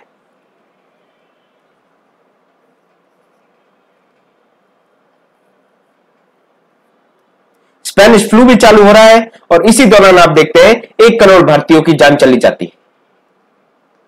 लीग जो है, वो लीग कहाँ फेल होती है, इसके बारे में हम बात करें हमने सक्सेस के बारे में बात कर ली, अब हम फेलियर्स के बारे में बात करने वाले हैं लीग की।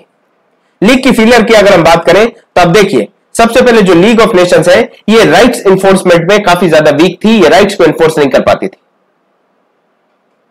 जी हाँ, जूही, बिल्कुल आप सही कह रही है वेरी हॉरिफाइंग वेरी हॉरिफाइंग आप देखने वाले जो मिलिट्री फोर्स है, वो अपनी अपनी नहीं रहने वाली है, लेकिन पर्टिकुलर लीग ऑफ़ नेशन के पास खुद की मिलिट्री फोर्स नहीं रहती। है जर्मनी और रशिया जो है, वो कहीं कभी लीग के मेंबर ही नहीं बनने वाले। और इंडिया जो है, वो इंडिपेंडेंट कंट्री नहीं था, इसको आपने मेंबर बना दिया। जो इंडिपेंडेंट कंट्री नहीं है, वो अपनी बात रखेगा कैसे, वो अपने लिए काम करवाएगा कैसे? तो आपने उसको मेंबर बना दिया, लेकिन जो आपकी इंडिपेंडेंट पावरफुल कंट्रीज़ हैं, चाहे जर्मनी की बात करें, रशिया की बात करें, ये मेंबर नहीं बनेंगे। यूएस जो है यूएस आप देखने वाले हैं, ये भी नहीं ज्वाइन करेगा लीग ऑफ़ नेशंस को। तो भैया, जिसने बनाया है वो ही नहीं ज्वाइन कर रहा है, जो बेच रहा है, वही नहीं खरीद रहा है तो दूसरे क्या खरीदेंगे? 1930 तक आप देखने वाले वापस जो कंट्रीज़ हैं, वो अपने रास्ते पर आ जाएँगे। वापस वो अपने एग्रेशन के जो रास्ते हैं, उन पर आ जाने वाले लीग ऑफ़ नेशन को इग्नोर कर दिया जाता है और इसके बाद आप देखने वाले धीरे धीरे जो भी लीग ऑफ़ नेशंस की बात है, उनको डिफाई कर दिया जाता है। देख रहे हैं आप चाइनीज़ अटैक होने वाला है चाइनीज़ अटैक करने वाला है चाइना सॉरी जापानीज अटैक करने वाला है चाइना पे। 1931 का आपको मालूम है किस तरीके से ये मंचूरिया पे कंट्रोल करने का कोशिश करते हैं। साथ में इटली जो है, वो भी इथोपिया पे कंट्रोल करने के लिए 1936 में अटैक करने वाली है। लेकिन ये दोनों जो एक्टिविटीज़ है, इन दोनों को लीग ऑफ़ नेशन ने इग्नोर कर दिया। राकेश, आप बिल्कुल सही कह रहे हैं कि कोविड जो है कोविड को जिस तरीके से मार्केट किया जा रहा है, अब जनता के पास सुनने के लिए कुछ नहीं है और आपके जो मीडिया है, उनके पास बताने के लिए कुछ नहीं है। क्या सोचते हैं आप? जनता आपको असम फ्लड्स के बारे में बताएगी? नहीं बताने, जो आपकी मीडिया है, वो आपको असम फ्लड्स के बारे में नहीं बताने वाली। वो आपको कोरोना के बारे में बताएगी, वो आपको ये बताएगी कि अमिताभ बच्चन जो है वो कोरोना पॉजिटिव हो गए फिर आपको ये बताएगी कि अमिताभ बच्चन कितनी बार टॉयलेट गए, सुबह से उठ के उन्होंने क्या किया और सुबह से उठ के उन्होंने क्या नहीं किया, कितने बजे उठे, खाना खाया, नहीं खाया, ये सारी खबरें आपको मीडिया दे रही है। और इसमें मीडिया इतनी व्यस्त है कि उसकी जो इंपॉर्टेंट खबरें हैं, वो वो बताने नहीं वाली। ये खासियत है आपकी मीडिया की, ये सच्चाई है, आज ये सही, असली रूप है आपके मीडिया का। आप देख रहे हैं 1931 में जापान इन्वेशन करता है चाइना का उसमें लीग ऑफ़ नेशंस कुछ नहीं बोलता है, चुपचाप रहता है, मौन रहता है। उसके बाद इटली जो है, वो इथोपिया में इन्वेशन करने वाला है 1936 में। उसमें भी आप देखने वाले हैं लीग ऑफ़ नेशन मौन रहता है। इसके अलावा आप देखें किस तरीके से जो डिवीज़न ऑफ़ स्पॉइल्स है, जो भी आपकी लड़ाई हो रही है, उसका जो बंटवारा हो रहा है, उसको रिकॉग्नाइज किया जाता है और कॉलोनीज को ट्रांसफ़र कर दिया जाता है मैंडेट से। यहाँ पर एनेक्सेशन नहीं होने वाला है, लेकिन आप धीरे धीरे देख रहे हैं कैसे उनके जो आइडियल्स हैं, जो आपकी लीग ऑफ़ नेशन बनाई गई है, उसके जो बेसिक आइडियाज़ हैं, उनको अंडरमाइन किया जा रहा है। ये सारी चीज़ें आपको समझ के चलना है। इस वजह से आपका जो लीग ऑफ़ नेशन है, वो फेल हो जाता है। अब हम ओवरऑल लीग ऑफ़ नेशन के बारे में थोड़ा समझे तो आपको समझ में आ रहा है लीग ऑफ़ नेशन जो है, वो फेल हो जाती क्यों क्योंकि उनका डिस्प्यूट जो एक रिजोल्विंग मैकेनिज्म था, वो काम नहीं करने वाला। जो आपका वर्डिक्ट है लीग ऑफ़ नेशन का, वो मेजर पावर्स के अगेंस्ट रहेगा तो मेजर पावर्स जो है, वो इसको नहीं मानने वाली, ढीले हाथ से लेने वाली। जापान की बात करें, इटली की बात करें, जर्मनी की बात करें, ये सब लीग के जो भी आपके इंपॉर्टेंट डिसीज़न है, उसको नहीं मानता।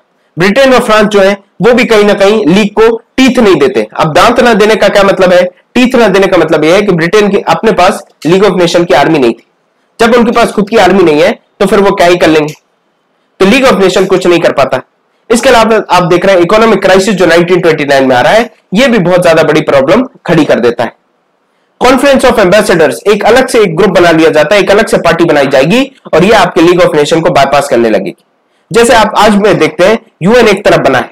इसके अलावा रीजनल पार्टीज़ भी बनी है रीजनल ग्रुपिंग्स भी बन गई जैसे आप देखते हैं सार्क बन गया। आप देख रहे हैं एससीओ बन गया। ये सारी चीज़ें आपने देख ली, आपने बिम्स्टेक देख लिया बिम्स्टेक बन गया। आपने आसियान भी देख लिया है आसियान भी बन गया है। आपने क्वाड ग्रुप भी देख लिया है। ये सारे जो ग्रुप्स बन रहे हैं, ये कहीं ना कहीं आपको जो यूएन का काम है, उसको बाईपास करने का प्रयास करें डिस्प्यूट का मतलब विवाद होता है, सचिन भारतीय विवाद। आपके बीच में, आपके और आपके पड़ोसी के बीच में जो विवाद है, उसको आप कह सकते हैं डिस्प्यूट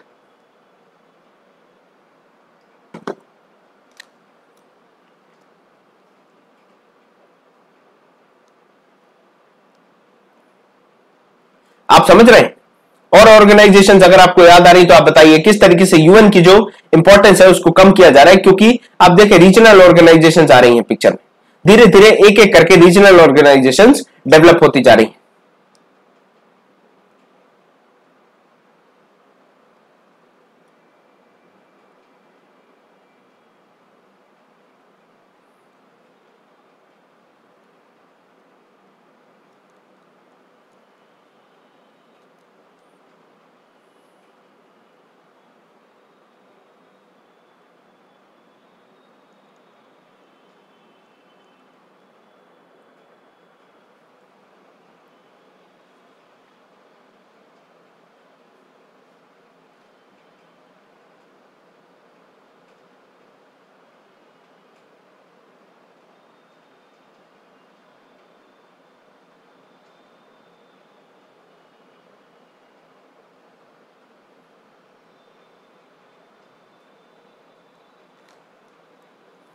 जी हाँ जी एट जी सेवन जी ट्वेंटी बहुत बढ़िया। आप सबको धीरे धीरे समझ में आ रहा है, इस तरीके से लीग ऑफ़ नेशन बनने के बाद आपका कॉन्फ्रेंस ऑफ़ एम्बेसडर बन जाता है और कॉन्फ्रेंस ऑफ़ एम्बेसडर बनने की वजह से कहीं ना कहीं लीग ऑफ़ नेशन को साइडलाइन कर दिया जाता है। जर्मनी यूएस यूएसएसआर ये कभी मेंबर नहीं बन रहे। साथ में आप देखते हैं जो लीग है, वो कहीं ना कहीं वीक हो रही है। क्योंकि यहाँ पर रियल कलेक्टिव सिक्योरिटी की बात ही नहीं हो पा रही। कलेक्टिव सिक्योरिटी कब आने वाली है? जब सारी आर्मी जो है वो मिलकर काम करने वाली है। लेकिन यहाँ जो आपके सुपर पावर्स हैं, जो आपके पावरफुल कंट्रीज़ है, वो तो ज्वाइन ही नहीं कर रहे। जब ये ज्वाइन नहीं करने वाले तो आप समझ सकते हैं क्या होने वाले ऑर्गेनाइजेशन का ट्रू शेप यहाँ से आप ये समझ गए हैं किस तरीके से जो लीग ऑफ़ नेशन है, वो ट्रूली सारी ऑर्गेनाइजेशन को, सारी रिप्रेजेंटेटिव को रिप्रेजेंट नहीं कर रहा है। यहाँ पर सबसे पहले लैक ऑफ़ फंड्स का इशू आने वाला है, इनके पास पैसे नहीं होंगे। क्योंकि जो इंपॉर्टेंट पावर्स हैं, ये ज्वाइन नहीं करेंगे तो पैसे नहीं मिलने वाले। 1920 तक देखने वाले, जैसी ही फॉर्म होती है, उसके बाद धीरे धीरे इसका डिक्लाइन होने लगेगा। 14 पॉइंट जो आपके वुड्रो विल्सन ने बनाए, वो खुद उन 14 पॉइंट्स को फॉलो नहीं कर रहे इसके अलावा आप देखिए, कैसे आपकी ऑर्गेनाइजेशन जो फ्रांस और ब्रिटेन बना रहे हैं, वो धीरे धीरे आपकी जो लीग ऑफ़ नेशन उसकी लेजिटिमेसी को कम करने वाले हैं एसोसिएशन ऑफ़ एम्बेसडर्स बना लेते हैं। जर्मनी जो है, वो 1926 में एडमिट कराया जाएगा। साथ में आप यूएसएसआर जो है वो 1934 में एडमिट कराया जाएगा। लेकिन तब तक तो अपना काम हो चुका है। आप देख रहे हैं 1934 में ये चीज़ होती है और धीरे धीरे वर्ल्ड वॉर के लिए वर्ल्ड वॉर टू के लिए थिएटर चालू होने लगता है। और एक और बात मैंने आपसे कही थी कि किस तरीके से आर्मामेंट कम करे जाएँगे, हथियारों को कम करने की बात करी जाती है। लेकिन आप यहाँ पर देख रहे हैं धीरे धीरे हथियारों को बढ़ाया जा रहा है। हथियारों को बढ़ाया जा रहा है और वर्ल्ड वॉर टू की तरफ़ बढ़ा जा रहा है। बहुत सारे एडवांस हथियारों का टेस्ट होने वाला है।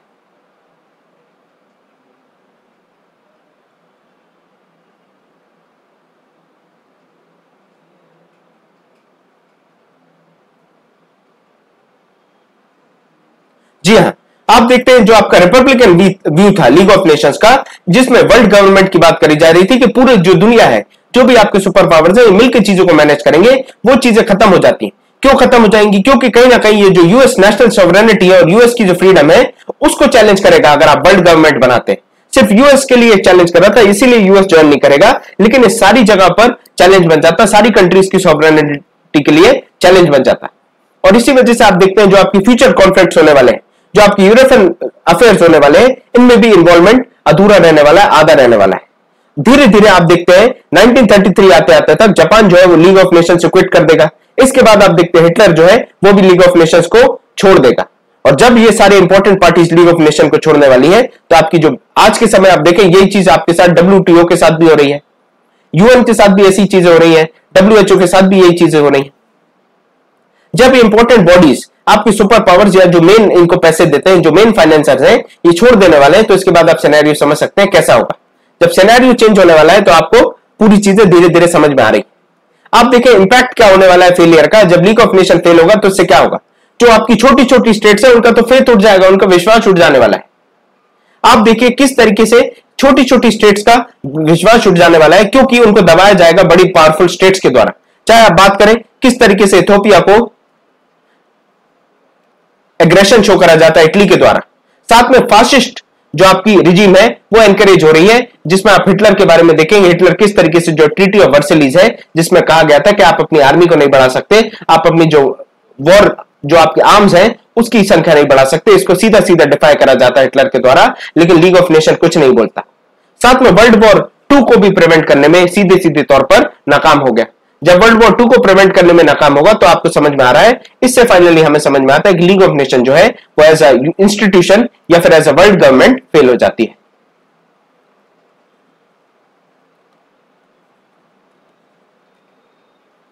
ये आप इसके ऊपर चाहे तो आप आंसर लिख सकते हैं।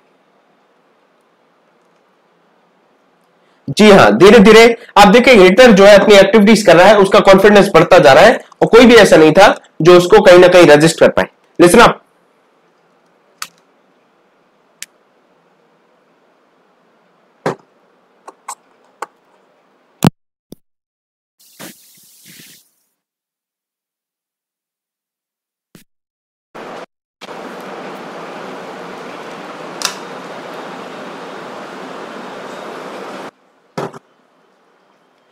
हम बात करने वाले हैं रशियन रेवोल्यूशन की, जो 1917 में हुई थी, जिसको हम अक्टूबर रेवोल्यूशन भी कहते हैं। इस सब के बारे में हम डिस्कस करने वाले इसके पहले मैं आपसे वही सवाल पूछूँगा, क्या आपको समझ में आ गया? क्या आपको क्लियर हो गया है कि लीग ऑफ़ नेशंस का क्या सीन था? लीग ऑफ़ नेशन जो आपके वर्ल्ड वॉर टू के बाद बनते हैं वर्ल्ड वॉर वन के बाद बनता है, उसके क्या पॉइंट्स हैं, क्या इंपॉर्टेंट फैक्टर्स हैं, ये सारी चीज़ें क्लियर हो गई। League of nation finally end कब हुआ? बहुत बढ़िया।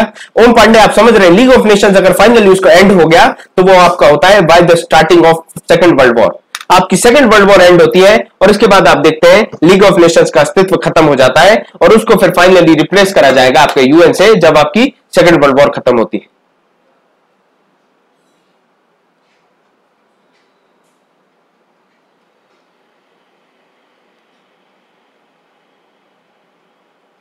जी हाँ फेब्रवरी और अक्टूबर रेवल्यूशन जो होने वाली है, उसके बारे में हम बात करेंगे।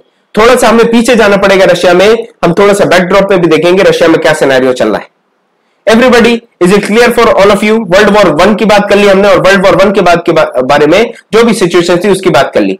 हम रशिया की बात इसीलिए कर रहे हैं क्योंकि रशिया वर्ल्ड वॉर टू में as a super power originate होने वाला है। इसीलिए ज़रूरी है समझना कि रशिया की पहले क्या सिचुएशन थी और कैसे वो सुपर पावर डेवलप हो रहा है। चलिए, बहुत अच्छी बात है। आगे बढ़ते हैं हम हम रशियन रेवोल्यूशन की बात करते हैं।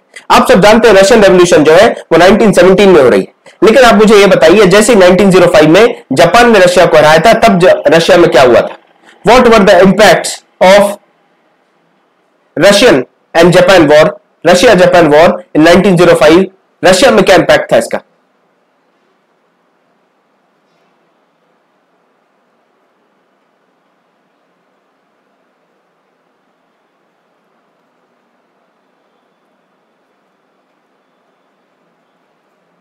रशिया में क्या इंपैक्ट था?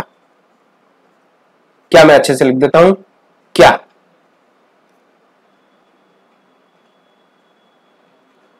क्या इंपैक्ट था रशिया में? 1905 में जो आपके रशिया और जापान की लड़ाई हुई, उसका इंपैक्ट बताइए मुझे।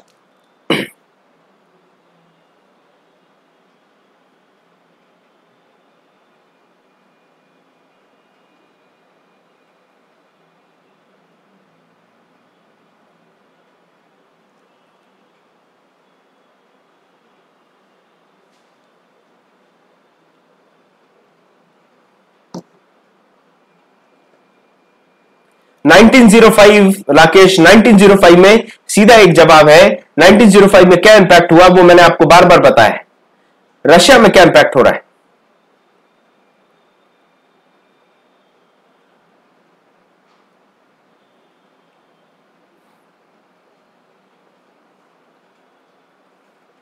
याद करिए, याद करें। मैंने आपको बताया था, जापान में डायट होता है और आपके रशिया में एक और ऑर्गेनाइजेशन आती है। ऐसा क्या हो रहा था रशिया में?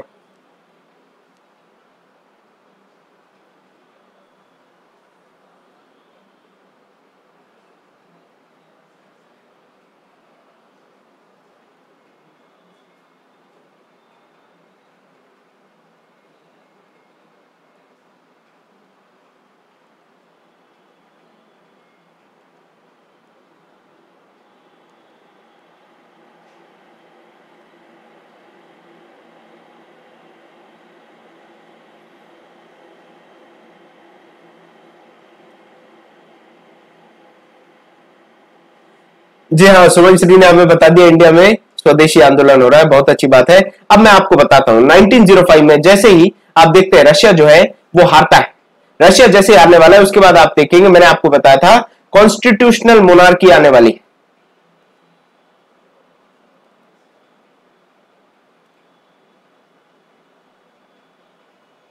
constitutional monarchy comes in India in Russia, sorry. अभी नहीं अभी नहीं अभी नहीं। 1917 तक रोमनॉफ चलने वाले काफ़ी लंबे चलते हैं। पैन स्लैम मूवमेंट जो चलने वाली है, वो आपकी चालू हो जाएगी। लेकिन मैं पर्टिकुलरली आपसे रशिया की बात पूछ रहा था। रशिया के बारे में मैं पूछना चाह रहा था। इसीलिए मैंने आपसे कहा था कि एस्टेब्लिशमेंट ऑफ़ डूमा होने वाला है और कॉन्स्टिट्यूशनल मोनार्की आने वाली। जब कॉन्स्टिट्यूशनल मोनार्की आती है, उसमें कहीं ना कहीं पावर जो है, वो किंग के साथ आपके जो पार्लियामेंट है, उसमें भी वेस्टेड होते हैं। पार्लियामेंट के हिसाब से डिसीज़न मेकिंग होने वाली। आप देखिए, ट्वेंटी ट्वेंटी सेंचुरी की बात कर रहा हूँ रशियन रेवोल्यूशन की बिगनिंग की हम बात करें तो ये चालू होता है और जो आपका रूल है आपके जार का, जो आपके निकोलस टू है, जो आखिरी आपके रशियन किंग होंगे रशियन एम्पर होने वाले हैं, इनका रूल चालू होता है and beginning of twenty century के आसपास। मतलब आप देखते हैं नाइनटीन के आसपास इनका रूल चालू होने वाला है। ये ऑटोक्रेटिक है। इनकी जो पॉलिसीज़ हैं, ये भी कहीं ना कहीं मासिस के अंदर पॉपुलर नहीं होने वाली, ये काफ़ी ज़्यादा बुरे शासक थे, लोग इनको ज़्यादा अच्छा नहीं मानते थे। इनको क्रिटिसाइज किया जाएगा, और भी बहुत सारी परेशानी आएगी, और 1905 में फाइनली जैसे ही जापान से हारने वाले हैं, उसके बाद बहुत सारी जगहों पर आप देखते हैं, आंदोलन होने वाला है। पीसफुल एक मास पीसफुल वर्कर्स का एक आंदोलन होगा, एक प्रोटेस्ट चालू होता है। यहाँ पर आप देखते हैं, जो औरतें हैं और बच्चे हैं, उन पर गोली चला दी जाती है। जब औरतों और बच्चों पर गोली चलाई जाएगी सेंट पीटरबर्ग के पास। यहाँ पर आप देखते हैं विंटर पैलेस की तरफ़ जा रहे थे आंदोलन करने के लिए, अपना पिटीशन देने के लिए। पिटीशन देने के लिए और ये भी पीसफुल तरीके से जा रहे थे, जार के पास जा रहे थे पीटर्सबर्ग में और इन पे खुलेआम गोलियाँ मार दी जाती है। जब गोली मारी जाएँगी, हज़ारों की तादाद में लोग वुंडेड हो जाएँगे और हज़ारों की तादाद में लोग मर जाएँगे। हज़ार जख्मी, हज़ारों की तादाद में ये जान गवा देते हैं अपनी और इस दिन को आप ब्लडी संडे कहते हैं। ब्लडी संडे मतलब काफ़ी खूनी रविवार होता है और खूनी रविवार जो है ये आपको रशिया में देखने मिलता है। 1905 में। ब्लडी संडे जब होने वाला है, इससे आप देखते हैं, जैसे ही इतनी सारी न्यूज़ आएगी कितने सारे लोगों को मार दिया गया रशिया में, इससे आपके सारी जगह पर गुस्सा भड़क जाने वाला है। जो आपके आर्मीज है और नेवी है, ये भी रिवॉल्ट कर देंगे। याद करिए, मैंने इंडिया में भी इस तरीके का रिवॉल्ट हुआ था। 1946 में वो रिवॉल्ट हुआ था। कौन सा रिवॉल्ट था जरा बताइए? इंडिया में जब आपके नेवी ने रिवॉल्ट किया था, उसको कौन सा रिवॉल्ट कहते हैं? 1946 का?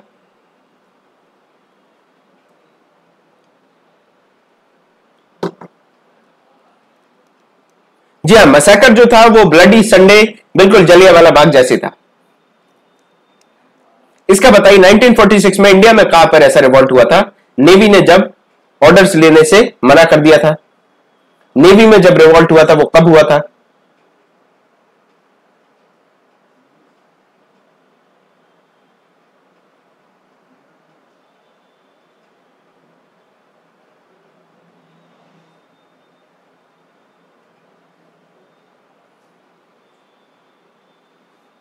जी हाँ आंसर जाना चालू हो गए, बहुत बढ़िया।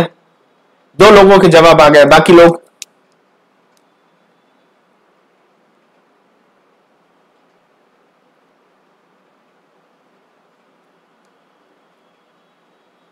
सब लोग फटाफट आंसर देते जाइए। जी हाँ 1946 मैंने आपको बता दिया 1946 में आपकी रॉयल इंडियन नेवल म्यूटनी होती है। आर आई एन रेटिंग्स की म्यूटनी होने वाली है। और उसको यह माना जाता था कि अंग्रेज़ों के लिए आखिरी अंग्रेज़ों के कॉफिन में आखिरी कील जो है, उसका काम ये कर रही। बिल्कुल उसी तरीके से यहाँ पर आर्मी और नेवी जो है, ये रिवॉल्ट कर देने वाली है। इसके बाद जो राजा है, वो कुछ कंसेशन देगा, जिसको आप अक्टूबर मैनिफेस्टो कहते हैं, लोगों को कुछ कंसेशन दिए जाएँगे। इसके अलावा आप देखने वाले हैं इलेक्शन पार्लियामेंट भी इलेक्ट किया जाता है, जिसको मैं आपसे बता रहा था कि एक कॉन्स्टिट्यूशनल मोनार्की एस्टेब्लिश हो जाती है, और यहाँ पर डूमा बन जाता है। डूमा जो है, वो इनफेक्टिव रहने वाला है। क्यों इनफेक्टिव रहने वाला है? क्योंकि यहाँ पर आप देखेंगे जो रशियन पीपल है, उनकी बात ही नहीं कर रहा है रशियन पीपल की बात नहीं करेगा और ये भी जो जार है, उसकी उंगलियों पर नाचने वाला है। जिस तरीके से नेपोलियन ने एक तरीके का सिस्टम ऑफ़ डेमोक्रेसी को अपने कंट्रोल में कर लिया था और खुद को डिक्टेटर स्टैब्लिश कर लिया था, उसी तरीके से यहाँ पर भी होगा, आपका जो डूमा है, वो इफेक्टिवली काम नहीं कर पाएगा। फाइनली आप देखें कैसे why did Nicholas survive 1905 revolution. कैसे उन्होंने सर्वाइव कर लिया? आप देखिए, जब हज़ारों की तादाद में लोग रोड पर आ गए हैं, इतनी सारी परेशानियाँ हो रही हैं। आर्मी और नेवी भी खिलाफ है। भाई साहब, यहाँ आर्मी और नेवी खिलाफ थी जब अंग्रेज़ के तो तो हमने अंग्रेज़ों को बाहर फेंक दिया था। याद करें 1946 1946 में जैसी आर्मी बाहर होती है, अंग्रेज़ों में इतना डर था कि आर्मी और नेवी अगर हमारे खिलाफ हो गई तो हमें बचाएगा कौन? 1947 में ये छोड़ के भाग जाते हैं। लेकिन यहाँ पर आप देखें 1905 की बात कर रहा हूँ मैं। 1905 में कैसे निकोलस जार बच गया और उसने 1905 से 1907 1917 तक अपना राज फिर भी बचा के रखा। यह फंडा जरा समझाइए मुझे, ऐसा क्यों हो पाया? कब आंदोलन कमज़ोर हो जाता है, कब जो आपका दुश्मन है, वो तब भी अपना काम करता रहता है, तब भी अपनी हरकतों से बात नहीं आता, वो ऐसा कैसे कर पा रहा है? बताइए मुझे। कैसे? जो आपके जार निकोलस टू हैं, वो सरवाइव कर गए आपके 1905 की, जो ब्लडी संडे था और जो आपकी रेवोल्यूशन थी, वो सब कैसे सरवाइव कर पाए? कैसे अक्टूबर मैनिफेस्टो की वजह से ये इतने साल और अपना राज कर पाए?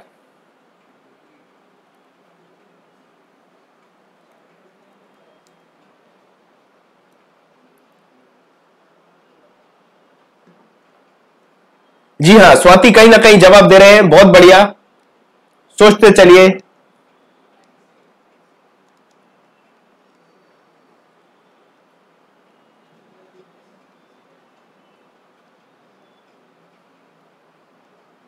हेलो तन्मय।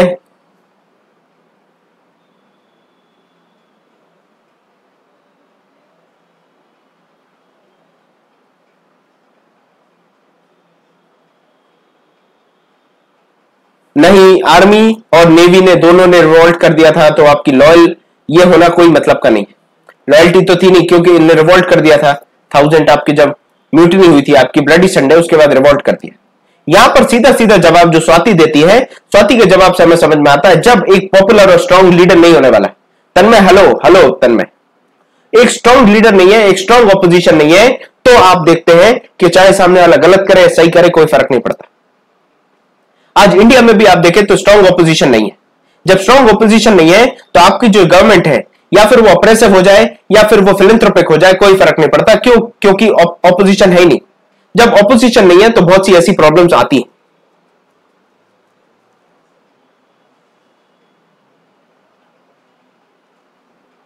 यहाँ पर आप देखने वाले हैं, जो आपके ओपोनेंट्स हैं, वो यूनाइटेड नहीं थे। जार के खिलाफ जो लोग खड़े हुए थे, उनमें एक एकता नहीं थी। जब उनमें एकता नहीं होने वाली तो उनको बहुत सारी परेशानियों का सामना करना पड़ेगा, और वो जार को अलग नहीं कर पाएँगे, उनके तख्त से, उनके पावर से अलग नहीं कर पाएँगे। कोई सेंट्रल लीडरशिप नहीं है, जैसा मैं स्वाति ने बताया, कोई लीडरशिप नहीं है तो परेशानी होने वाली है। और इस पूरी चीज़ की वजह से स्पॉन्टेनिटी नहीं आने वाली। जो आपको एक तरीके से डिथ्रोन करना है, वो सारी चीज़ें नहीं आने वाली। आप देखते हैं, ये कहीं ना कहीं क्रिटिकल मूवमेंट पे कॉम्प्रोमाइज कर लेंगे। वही अंग्रेज़ों की तरीके से कि क्रिटिकल मूवमेंट पे इन्होंने कॉम्प्रोमाइज कर लिया। साथ में आर्मी जो आपकी शुरू में रिवॉल्ट कर रही थी, उसको बाद में ये लॉयल बना देते हैं। ये डिस्कस करते हैं, उनके साथ कुछ कंसेशन की बात करते हैं, जो आपको पता चलेगा राष्ट्रपुतिन के टाइम जब आपको मैंने जो राष्ट्रपुतिन का गाना भेजा है, उसको जरा सा ध्यान से समझिएगा, राष्ट्रपुतिन के बारे में पढ़ने का प्रयास करिएगा, तब आपको समझ में आता है कि शुरुआती दौर में जो आर्मी और नेवी रिवॉल्ट कर देती है, वो फाइनली थोड़ी दिन बाद इनके साथ लॉयल्टी दिखाने लगती है। नेवी की अभी भी बात नहीं करी जा रही, लेकिन पर्टिकुलरली आप देखेंगे कि जो लैंड पर जो पावर है आर्मी वो धीरे से इनके साथ लॉयल्टी शो करने लगेगी। अब हम बात करें रशियन रेवोल्यूशन 1917 की। सबसे इंपॉर्टेंट चीज़ यह है जनरली आपको यह लगता होगा कि अगर आर्मी सपोर्ट करेगी तो काम बन जाएगा। अगर आपकी नेवी सपोर्ट करेगी तो काम बन जाएगा। लेकिन मैं आपको एक बात बता रहा हूँ, जब जनता इकट्ठी हो जाती, चाहे आप क्विट इंडिया मूवमेंट की बात करें या फिर आप करें, जो आपकी रेटिंग्स की म्यूटनी थी उसकी बात करें, हर जगह आपको एक बात समझ में आएगी, जब कॉमन मैन रोड पर आता है कॉमन मैन एक प्रॉपर लीडरशिप के साथ रोड पर आता है तो बड़ी से बड़ी आर्मी बड़ी से बड़ी नेवी भी बेकार हो जाती है। क्योंकि आप पूरे देश को आर्मी के सामने खड़ा कर देंगे तो आर्मी किस पर गोली चलाने वाली है? आर्मी अपने लोगों पर कितनी गोली चला लेगी, कितनों को मारोगे? और अगर देश ही खत्म कर दोगे तो राज किस पे करने वाले? तो रशियन रेवोल्यूशन जो होती है, वो होती है आपकी 1917 में, अब इस पर हम चर्चा करते हैं। निकोलस टू जो है आपके जार वो प्रॉमिस करने वाले हैं। वो प्रॉमिस करेंगे, लेकिन उनकी जो प्रोमिस है, उनकी वजह से आप देखते हैं रेवोल्यूशन जो है, वो आज नहीं तो कल होने वाली है। उनकी जो हरकतें थी, उनकी जो पॉलिसी थी, वो अनपॉपुलर थी। और धीरे धीरे आप देखते हैं लैंड रिफॉर्म्स लेकर आने वाले हैं जो फेल हो जाते हैं। अब लैंड रिफॉर्म्स क्यों लाए जा रहे हैं, बताइए। लैंड रिफॉर्म्स क्यों लाए जा रहे हैं? Why are land reforms been introduce land reforms लाने का मतलब क्या होता है?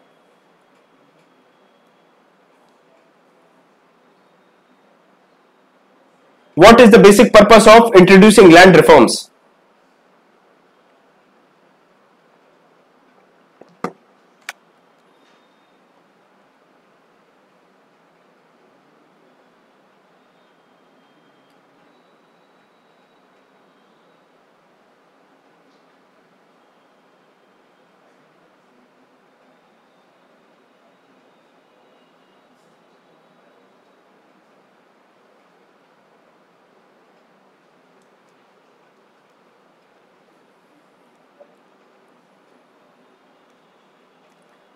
जी हाँ ये भी आप सही कह रहे हैं। रमा, सही कह रही हैं आप। प्राइवेट प्रॉपर्टीज़ को कम करने की बात करी जा रही है। मैं आपसे ये कह रहा हूँ, जो आपके लैंडलेस लोग हैं लैंडलेस लोगों को भी ज़मीन देने के लिए हमारे इंडिया में भी भूदान मूवमेंट की जाती है। और भी बहुत सारी ऐसी चीज़ें करी जाती हैं, जिससे आप देख रहे हैं लैंड रिफॉर्म्स करे जाएँगे। लैंड लोगों को भी लैंड दिया जाने वाला है और जो बहुत सारे लोग हैं, जिनके पास एस्टेट्स हैं मैनर्स हैं इतनी बड़ी बड़ी जमीनें हैं, उन सबको उनसे लेके गरीबों में बांट दिया जाता है। 1861 में यह चीज़ होती है जो सर्फडम है। सर्फडम खत्म हो जाता है। जो बंधुआ मजदूरी है, उसको खत्म कर दिया जाता है। लेकिन जो आपके पीसेंट्स हैं, जो लैंडलेस लेबर्स हैं, उनकी स्थिति में अभी भी सुधार नहीं उनकी ज़िंदगी अभी भी बहुत खराब रहने वाली है। छोटे छोटे जमीनों पर यह खेती करने वाले हैं। और यहाँ पर आप देखने वाले कहीं पर भी इनको डेवलपमेंट्स नहीं देखने मिलेंगी। क्योंकि अगर छोटी ज़मीन पर आप खेती करने वाले हो तो आप सब्सटेंटिव एग्रीकल्चर करने वाले हो सिर्फ़ अपना जो काम है वही होने वाला है। उसके अलावा आप अपने खर्चा चलाने के अलावा और इतना ग्रो नहीं कर पाएँगे कि तो आगे, कि आगे आप प्रोग्रेस कर पाए। साथ में जो गवर्नमेंट है वो रिप्रेसिव है। वो काफ़ी ज़्यादा दबाव डालने वाली है प्रेशर बनाने वाली है। सीक्रेट पुलिस बनाई जाएगी जार के द्वारा जो गवर्नमेंट में जो भी आपके रेवोल्यूशनरीज है उनको एलिमिनेट करेगी। जो भी आपके रेवोल्यूशनरीज होंगे उसको गवर्नमेंट एलिमिनेट करना चालू कर देगी। ये एलिमिनेट करने के इस पोजीशन से मुझे एक राइटर का नाम याद आता है। जॉर्ज ऑरवेल इनकी एक बड़ी शानदार किताब है, उसका नाम है 1984 ये आप पढ़ेंगे तो आपको समझ में आएगा किस तरीके से गवर्नमेंट एलिमिनेट कर देती है रेवोल्यूशनरीज को।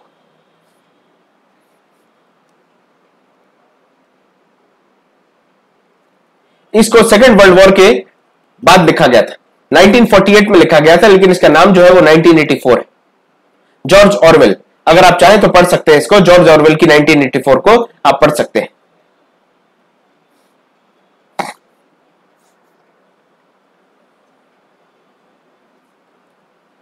आगे हम बात करते हैं, किस तरीके से? तीसरा पॉइंट देखें आप, जो आपकी लेट इंडस्ट्रियलाइजेशन हो रहा है। लेट इंडस्ट्रियलाइजेशन का रीजन आपको पता है 1917 के बाद ही इसका इंडस्ट्रियलाइजेशन होने वाला है। इसके पहले मेजर पार्ट ऑफ़ रशिया जो है, वो आपका एग्रीकल्चर डिपेंडेंट था एग्रेडियन इकोनॉमी थी। जो लगभग आधे से ज़्यादा जो लोग थे, वो फॉरेन कंट्री से कैपिटल जनरेट हो रहा है। आधे से ज़्यादा जो आपका कैपिटल जनरेट हो रहा है, वो फॉरेन कंट्री से हो रहा है। फॉरेन कंट्री से क्यों हो रहा है? जो आपकी कॉलोनीज है, उनसे ही डेवलप हो रहा है। इसके साथ जो भी आपकी वर्कर्स की कंडीशन है, उनकी कोई चिंता नहीं करी जा रही है। जो हो रहा होने दो, जो चल रहा चलने दो। रशियन कैपिटलिस्ट जो है, वो कंपीट करने वाले फॉरनर से। लेकिन फॉरनर से कंपीट करोगे कैसे आप? आप खुद बताइए, अगर आपको कोई चीज़ दस रुपए में बना रहे हैं आप, ब्रिटेन अगर दस रुपए में कोई चीज़ बना रहा है, और रशिया को वही चीज़ अगर दस रुपए में बनानी है, और ब्रिटेन के पास मशीन है, रशिया के पास मशीन नहीं है, रशिया पूरा काम लेबर से करा रहा है तो रशिया कैसे अपना कॉस्ट को कम करेगा? कैसे अपने कॉस्ट को कम करेगा रशिया?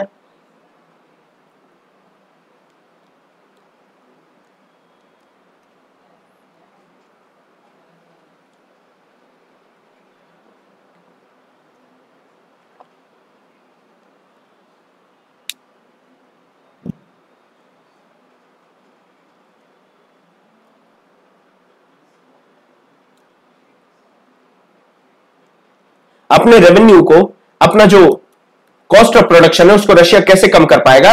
ब्रिटेन के पास तो मशीन है, अगर रशिया के पास मशीन नहीं है तो वो कैसे कम करेगा? बहुत ही सिंपल फिनोमिना है। अगर ये लेबर इंटेंसिव है तो ये अपने जो लेबर के वेजेस है, उसको और कम कर देगा। जो आज के समय आप देखते हैं चाइना कहीं ना कहीं दोनों का कॉम्बिनेशन यूज़ करता है। एक तो एडवांस मशीन का यूज़ कर रहा है, साथ में आपका जो लेबर है, उनका भी जो लेबर का वेज है, वो काफ़ी कम रखता है। जब वेजेस कम रखने वाले हैं तो इससे आपको समझ में आता है। वेजेस कम रख रहे हैं तो उससे आपको सिनेरियो क्लियर होने वाला है कि आप तब कॉम्पिटेटिव बन पाते हो। लेकिन आप अगर वेजेस कम रख रहे हो तो इससे आपका क्या होने वाला है? लेबर की जो कंडीशन है, वो बहुत खराब होने वाली है। वर्कर्स की जो कंडीशन है, वो बहुत खराब होने वाली। लेकिन वर्कर्स के पास कोई पॉलिटिकल पावर नहीं है, कोई पॉलिटिकल राइट नहीं है। जब कोई पॉलिटिकल पावर या कोई पॉलिटिकल राइट नहीं है तो इसमें आप समझते हैं सिनेरियो और खराब हो जाने वाला है। सिनेरियो और खराब हो रहा है। धीरे धीरे आप देखते हैं इंडस्ट्रियल स्ट्राइक्स चालू हो जाएँगे। इसके बाद आप देखते हैं किस तरीके से बहुत सारे लोगों को मार दिया जाएगा। क्यों मारा जाएगा? क्योंकि आपको स्ट्राइक्स को सप्रेस करना है। स्ट्राइक्स को सप्रेस करने के एक ही तरीके थे। जैसे हमारे जले वाला बाग में किया गया था स्ट्राइक एक तरीके का प्रोटेस्ट हो रहा था पीसफुल प्रोटेस्ट हो रहा था। उस तरीके से यहाँ पर जो स्ट्राइक्स होती थी वर्कर्स की, इनको गोली मार दी जाएगी या फिर इनको सप्रेस करने के और भी तरीके ढूंढे जाएँगे और बहुत सारे वर्कर्स की जान चली जाएगी।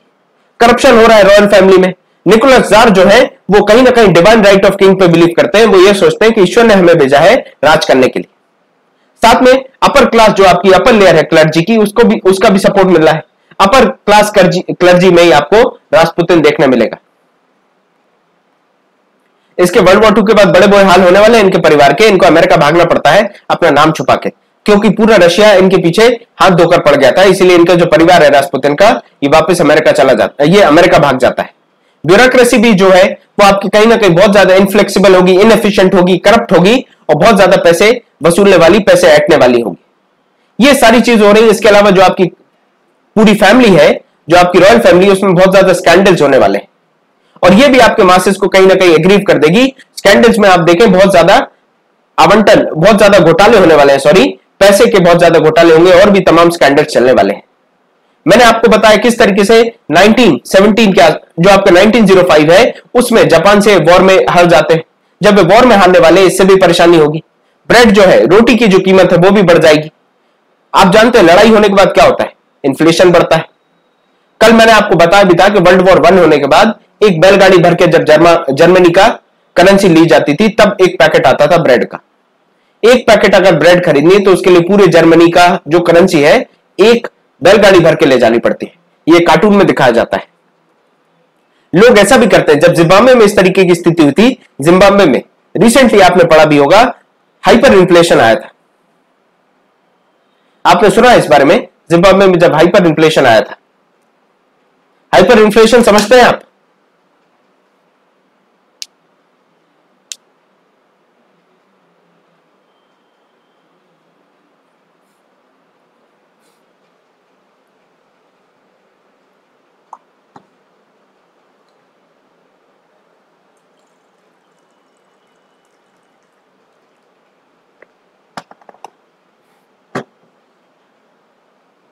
बताइए हाइपर इन्फ्लेशन क्या है?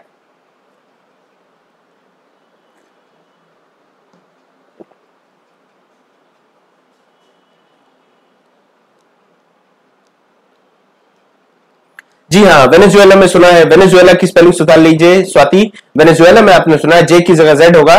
वेनेजुएला में सुना है, जिम्बाब्वे में सुना होगा आपने। जिम्बाब्वे रिसेंट इसका आपको देखने मिलेगा। बहुत ज़्यादा महँगाई जब बढ़ जाती है, उसको आप इन्फ्लेशन कहते हैं हाइपर इन्फ्लेशन कहते हैं। व्हेन द एक्सपेंस या आपका जो प्राइसेस ऑफ़ कम्युनिटीज है they rise at a drastic speed जैसे आपकी क्रॉलिंग इन्फ्लेशन होता है, एक आपका गैलपिंग इन्फ्लेशन होता है, उसी तरीके से हाइपर इन्फ्लेशन होता है। यहाँ पर जिम्बाब्वे में जब हाइपर इन्फ्लेशन आया था तो लोग अपनी सरकारी करेंसी जला जलाकर अपने हाथ ताप रहे थे। जिस तरीके से हम रूम हीटर का काम करते हैं, जिस तरीके से हम कोल को बंद करते हैं, इस तरीके से जिम्बाब्वे के लोग वहाँ की करेंसी को बंद कर रहे थे।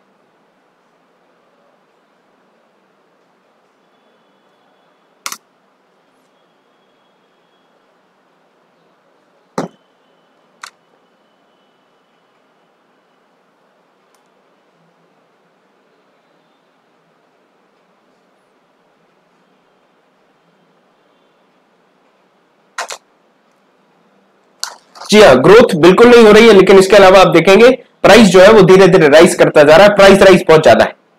वॉर फेलियर आपने समझ लिया, महँगाई बढ़ जाने वाली है। साथ में टेक्टिकल बहुत ज़्यादा ब्लंडर्स होने वाले हैं। जिसकी वजह से वेल्थ भी ड्रेन हो रही है और बहुत ज़्यादा लोगों की मौतें हो रही है।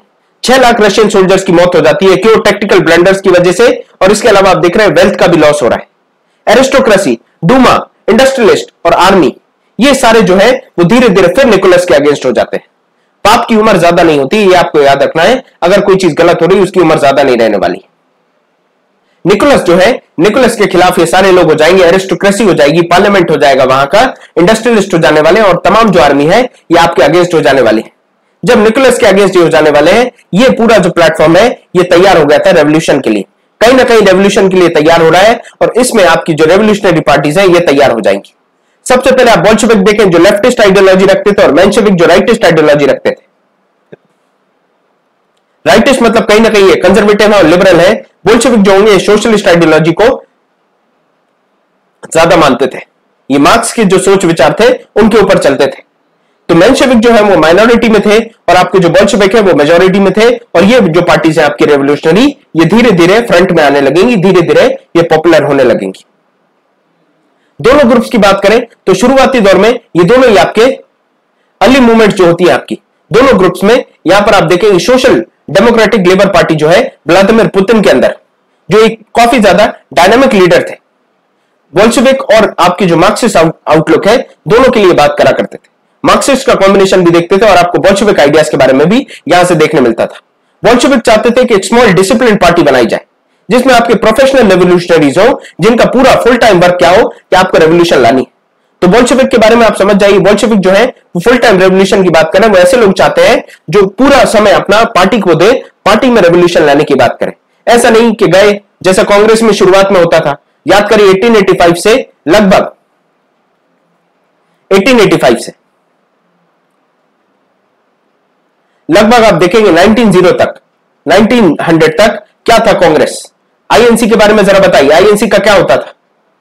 आईएनसी को थोड़ा सा एक्सप्लेन करने का प्रयास करिए। आईएनसी के साथ क्या कमियाँ थी इस समय?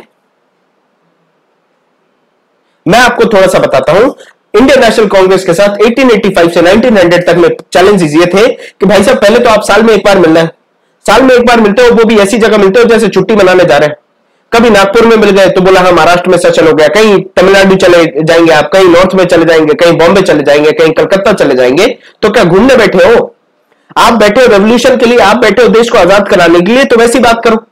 यहाँ पर आपको समझ में आएगा कि ये लोग बैठते हैं, ये चाहते हैं कि फुल टाइम आप उसको डिवोट करें रेवोल्यूशन को डिवोट करें, और उसी की आप बात करें। इसीलिए सारी चीज़ों में बोल्शेविक जो पार्टी है, वो आगे धीरे धीरे पावर में आने लगी जो आपके व्लादिमिर पुतन है सॉरी व्लादिमिर लिनिन जो है, ये पीसेंट्स के लिए काम करने वाले हैं एम्फोसिस डालेंगे वर्कर्स के लिए पीसेंट्स के लिए। और इनको भी रेवोल्यूशन में इन्वॉल्व करेंगे। रेवोल्यूशनरी एक्टिविटीज़ में इनको इन्वॉल्व कर रहे हैं। याद करिए पीसेंट्स को किसने इन्वॉल्व किया था? पीसेंट्स को कैसे, किसने इन्वॉल्व किया था आईएनसी में? आईएनसी के साथ जो भी रेवोल्यूशनरी एक्टिविटीज़ हो रही हैं, उसमें किस लीडर ने पीसेंट्स को इन्वॉल्व किया था?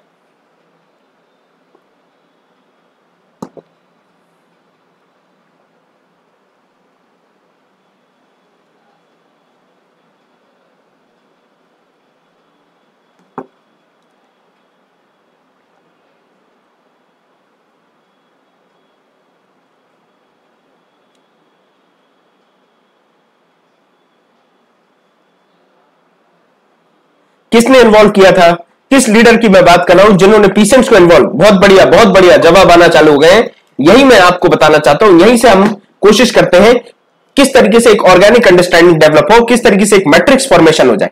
हम इंडिया की भी बात कर रहे हैं, हम रशिया की भी बात कर रहे हैं, दोनों इन द मीन टाइम आप देखते हैं मैंशविक जो है मैंशविक बिलीव करते थे कि जो आपकी रेवोल्यूशन है, ये ये नहीं हो सकती है। ये नहीं हो सकती कब तक? जब तक आपके इंडस्ट्रियलाइज और इंडस्ट्रियल वर्कर जो है, वो मेजोरिटी में है। उनके पास मेजोरिटी है पीसेंट्स के, तब तक ये रेवोल्यूशन नहीं हो सकती। आप सीधा सीधा ये समझिए, जो आपके मैंशेफिक्स है, वो एंटी रेवोल्यूशन है। उनको रेवोल्यूशन नहीं चाहिए। मैंशेफिक जो है, वो एंटी रेवोल्यूशन है। और मार्क्स ने सीधा सीधा कहा था कि अगर आपके जो पीसेंट्स हैं, जो आपके वर्कर्स हैं, इनको अगर पावर अपने हाथ में लेना है, इनको पावर को कंट्रोल में लेना है तो इसके लिए रेवोल्यूशन की बहुत ज़्यादा ज़रूरत है। यहाँ पर बात करी जाती है in setting the fourth fundamental law for success successful revolution Lenin included two conditions which arrived in Russia in 1970 Lenin जो है रशिया में आते हैं जर्मनी के सपोर्ट से, मैंने आपको बताया था। ये दो कंडीशंस रखने वाले हैं जो एक सक्सेसफुल रेवोल्यूशन को कारगर करने के लिए ज़रूरी है। सबसे पहले यह कहा गया people should fully understand the revolution is necessary सबसे पहले आपको यह समझने की ज़रूरत है कि रेवोल्यूशन की ज़रूरत है और रेवोल्यूशन होना ही पड़ेगा। साथ में आपको सेक्रीफाइस के लिए तैयार रहना है, अपनी जान देने के लिए तैयार रहना है। अब ये सेक्रीफाइस योर लाइफ वाली बात किसी और ने भी करी थी, किसी एक मूवमेंट में करी थी। जरा आप बताइए, कौन सी मूवमेंट में सेक्रीफाइस योर लाइफ की बात करी थी? Which leader in India talked about sacrificing life for the movement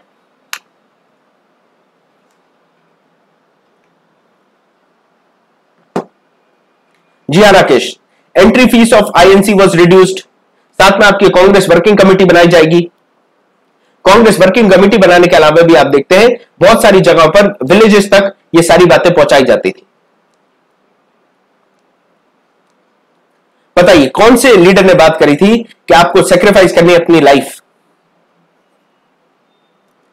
जी हाँ, बहुत बढ़िया। लेकिन यहाँ पर दो लीडर्स हैं, दोनों ने कहीं ना कहीं अपने अपने स्तर पे सेक्रीफाइस करने की बात कही थी। दोनों लीडर का नाम चाहिए मुझे। आपने एक लीडर का नाम बता दिया, दूसरे लीडर का भी नाम बताइए।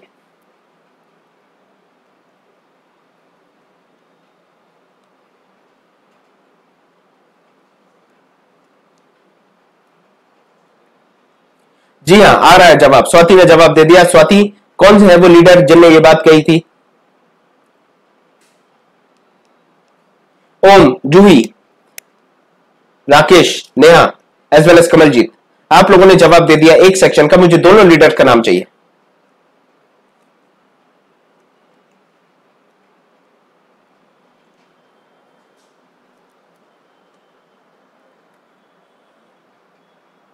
मैं आपको बता रहा हूँ, दो इंपॉर्टेंट लीडर जो आपको याद रखने हैं, जो बहुत ही ज़्यादा इंपॉर्टेंट है, सबसे पहले मैं आपको बता दूँ, सबसे पहले तो हम बात करेंगे गांधी की।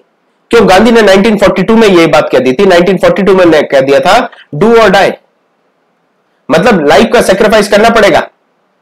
दूसरी तरफ़ सुभाष चंद्र बोस भी यही चीज़ कहते हैं, वो ये कहते हैं कि तुम मुझे खून दो, मैं तुम्हें आज़ादी दूँगा। तो दोनों लोग हमें याद रखते हैं, दोनों इंपॉर्टेंट है। यहाँ पर पुतिन जो है, जो लेनिन है, ये लेनिन भी यही बात करते हैं। लेनिन कहेंगे कि आपको अपनी लाइफ को सेक्रीफाइस करना पड़ेगा, और यह बात अच्छे से समझ के रख लो कि रेवोल्यूशन बहुत ज़रूरी है। Revolution is inevitable and indispensable इसके बाद ये कहते हैं जो आपकी आज की गवर्नमेंट है, जो गवर्नमेंट चल रही है, पहले तो इसको ऐसी स्टेट ऑफ़ क्राइसिस में लाओ, ऐसी परेशानी में लाओ कि जो आपकी गवर्नमेंट है वो चल ही ना पाए। जब आपकी गवर्नमेंट नहीं चल पाएगी तो उसको ओवरथ्रो करना, उसको उखाड़ फेंकना बड़ा आसान हो जाने वाला है। दो चीज़ें लेनिन ने हमें 1917 में बता दी। अब देखिए किस तरीके से आपकी रशियन रेवोल्यूशन की पूरी कहानी चलती है। रशियन रेवोल्यूशन की शुरुआत कहाँ से हो रही है? 1900 से आप देखें 1900 1900 से आप देखते हैं। सार निकोलस जो है वो आपके रशियन एम्पर को में एब्सोल्यूट पावर एस्टेब्लिश करेंगे। 1905 में आपके जो रशियंस हैं, ये ह्यूमिलेटेड डिफीट काफ़ी ज़्यादा बेइज्जत करने वाली हार महसूस करेंगे। हार ये झेलने वाले हैं, जापान से। जापान से काफ़ी ज़्यादा बुरी तरीके से हारने वाले हैं। उसके बाद ये रिफॉर्म्स करने का प्रयास करते हैं। रिफॉर्म्स लाने की बात करेंगे ताकि जनता जो है वो कुछ दिन के लिए शांत हो जाए। इसके बाद ब्लडी संडे हो जाता है 1905 में। फिर उसके बाद आपका जो डूमा है, वो बना दिया जाता है और आपका एक कॉन्स्टिट्यूशनल मोनार्की एस्टेब्लिश कर दी जाएगी। कॉन्स्टिट्यूशनल मोनार्की एस्टेब्लिश करने के बाद 1914 में आप देखते हैं, रशिया फिर फ़र्स्ट वर्ल्ड वॉर में एंटर करेगा और यहाँ पर भी वो बहुत ज़्यादा लॉसेस फेस करने वाला है। जब ये बहुत ज़्यादा लॉसेस फेस करेगा, उसके बाद 1917 में आप देखते हैं रिवॉल्ट होता है। रिवॉल्ट ऑफ़ पेट्रोग्रेड यहाँ पर आप देखेंगे रिवॉल्ट में जो जार है, उसको अपनी जगह छोड़नी पड़ती, अपनी अपनी गद्दी छोड़नी पड़ेगी और एक प्रोविजनल रिपब्लिक गवर्नमेंट एस्टेब्लिश करी जाएगी। 1917 में आप देखेंगे नवंबर में नवंबर में व्लादिमीर लेनिन एंटर करेंगे सीन में। और जब ये एंटर करेंगे तो जो बोल्शेविक्स है, ये पूरा कंट्रोल ले लेंगे पेट्रोग्राड में और जो आपकी रिपब्लिकन गवर्नमेंट जो बनी है, उसको ओवरथ्रो करेंगे। फाइनली 1918 से 21 के बीच में आप देखते हैं बोल्शेविक जो है, ये रेड्स के नाम से जाने लगेंगे और इनमें पहले तो आप देखेंगे सिविल वॉर भी होने वाली है। इसके साथ जो आपकी एक्सटर्नल आर्मीज है, ये भी लड़ने वाली है। जो आपके और भी कंट्रीज़ है, चाहे ब्रिटेन की बात करें फ्रांस की बात करें, और भी आसपास की जो जगह है, ये सब कोशिश करेंगे लड़े और वापस जो आपका जार का रूल है, उसको एस्टैब्लिश कर दे। 1922 में आप देखते हैं लेनिन जो है, वो एस्टैब्लिश करने वाले यूएसएसआर यूएसएसआर एस्टैब्लिश करा जाता है, जो कम्युनिस्ट पार्टी की लाइन पे होता है। पूरा कंट्रोल जो होने वाला है, वो कम्युनिस्ट पार्टी के हाथ में होगा 1922 में, और 1922 के बाद 1929 में आप देखते हैं लेनिन की जैसी डेथ होती है, उसके बाद स्टालिन रूलर बन जाते हैं यूएसएसआर के और यहाँ पर एक टोटलिटेरियन स्टेट बना लेते हैं। टोटलिटेरियन का मतलब यह है कि पूरी अथॉरिटी स्टैलिन अपने हाथ में ले लेने वाले ये पूरी साइकिल है, ये पूरा चक्कर है जो आपको समझने की ज़रूरत है रशियन रेवोल्यूशन में।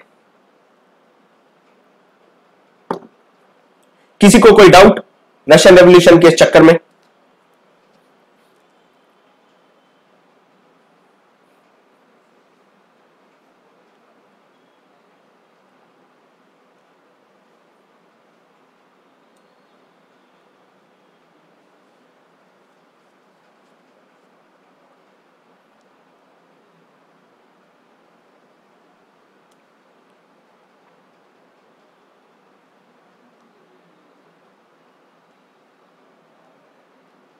एनीबडी एनी डाउट यहाँ तक रशियन रेवोल्यूशन में जो भी हमने डिस्कशन किया, इसमें कोई तकलीफ़, कोई परेशानी, कोई शंका?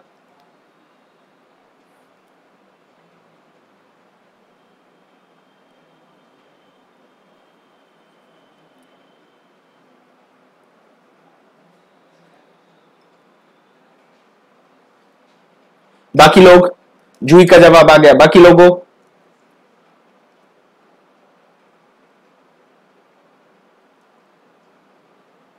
चलिए बहुत अच्छी बात है। अब जरा सा हम लाइट डाल देते हैं। फेब्रवरी और अक्टूबर में जो रेवोल्यूशन हुई थी, उनके बारे में थोड़ी चर्चा कर आप देख रहे हैं जो ब्रेड रायट हो रहा है। सेंट पीटर्सबर्ग में याद करिए, जो महिलाओं को मार दिया गया था, जो बच्चों को मार दिया गया। इसके बाद जो जार है, वो अपने पूरे ट्रूप्स को भेजते हैं। इस चीज़ को सप्रेस करने की कोशिश करते हैं। इसके बाद धीरे धीरे आप देखेंगे कैसी चीज़ें चेंज हो रही जो आपकी पब्लिक बिल्डिंग्स है, उसको ये पूरी जनता जो है, वो अपने कंट्रोल में ले लेगी। जो आपके प्रिजनर्स हैं, जिनको भी जेल में डाला गया है, उनको भी ये आज़ाद करा देंगे। ये जो जेल में डालने वाला सीन है और जेल से आज़ाद कराने वाला सीन है, जरा इसको कोरिलेट करके देखे कहाँ पर यह चीज़ हुई थी। कहाँ से जेल के प्रिजनर्स को आज़ाद करा दिया गया था, जरा ये चीज़ बताइए मुझे। सेम सीन आपको कहाँ देखने मिला था?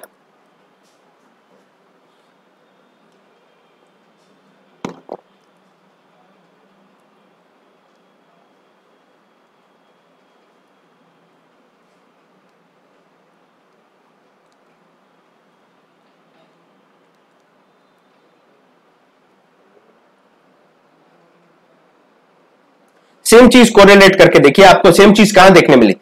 सेम चीज़ आपको फ्रेंच रेवोल्यूशन में देखने मिलेगी, जब सारे लोग इकट्ठे हो जाते हैं और आपकी जो पब्लिक बिल्डिंग्स है, उस पर कंट्रोल करते हैं।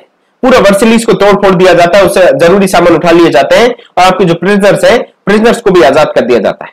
बाद में आप देखेंगे जो डूमा है, जो आपका पार्लियामेंट है, ये एडवाइस करेगा निकोलस को कि आप कॉन्स्टिट्यूशनल मोनार्की एस्टेब्लिश कर दो, अपनी गद्दी को छोड़ दो। लेकिन निकोलस नहीं मानने वाले हैं, और ट्रूप्स को भेज देते हैं।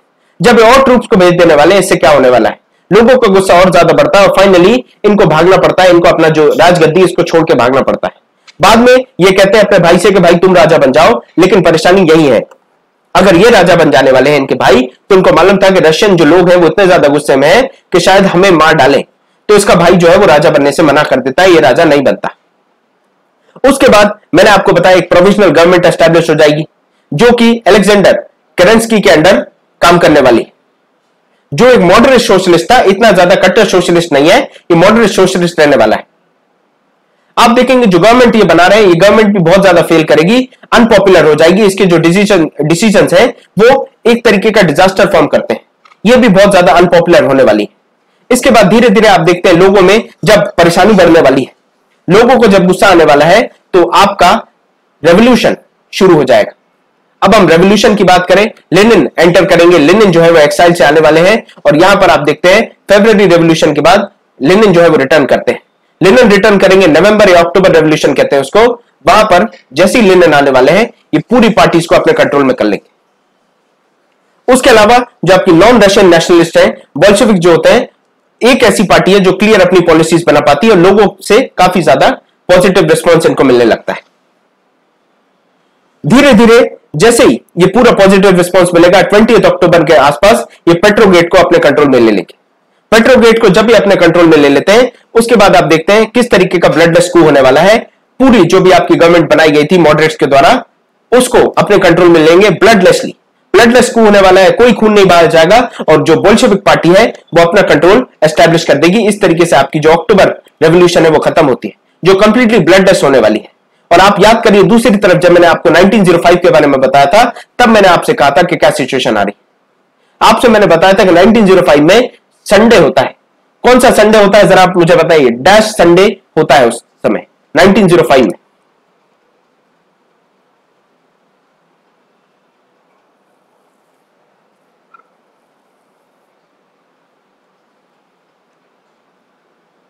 डैश संडे कौन सा संडे होता है 1905 में? जब आपके जार जो है, वो फौजों को भेज देते हैं।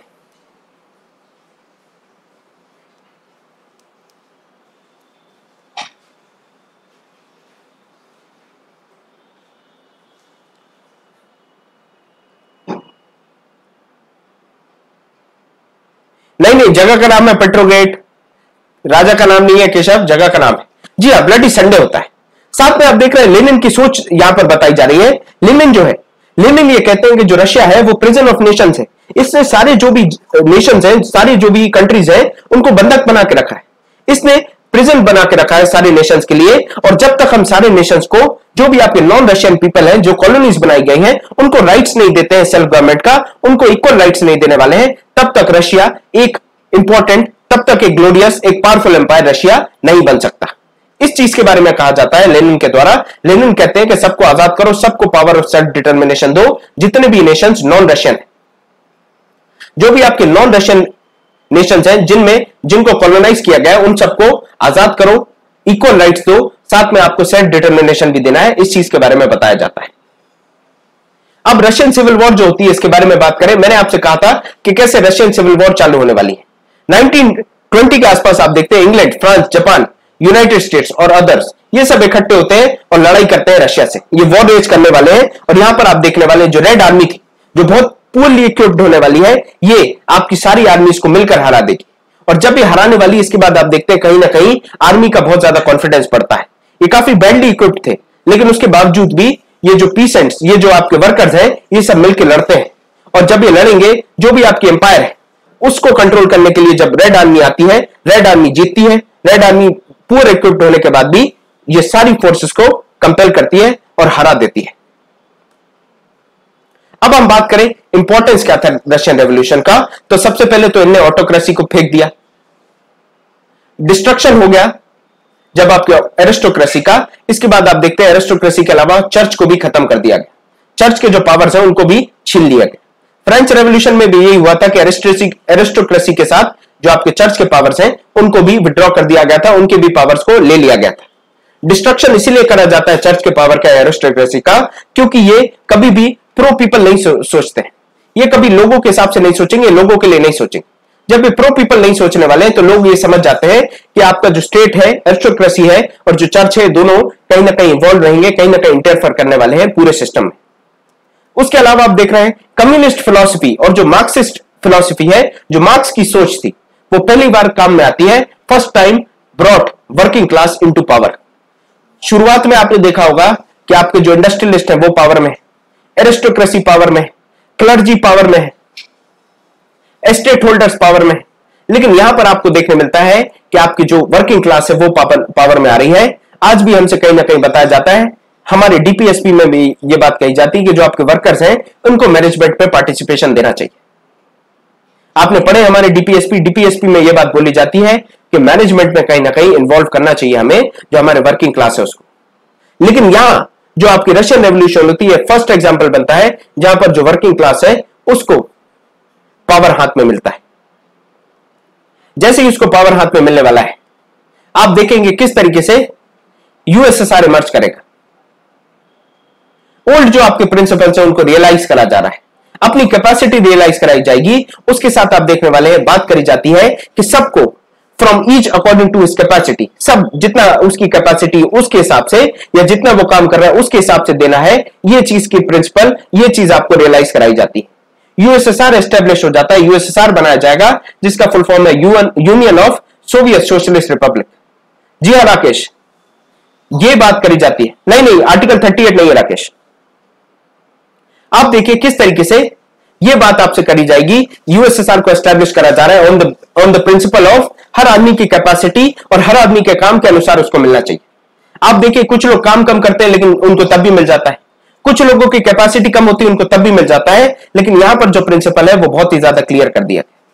आप देखेंगे किस तरीके से यूएसएसआर बनता है, उसके बाद एक इंपॉर्टेंट रोल प्ले करेगा यूएसएसआर सेकेंड वर्ल्ड वॉर के टाइम जो आपके मिटिगेशन पर्टिकुलरली रेस कलर या सेक्स के ऊपर जो डिफ्रेंशिएशन होते थे, जो डिस्क्रिमिनेशन होते थे, वो कम होंगे, वो खत्म होंगे।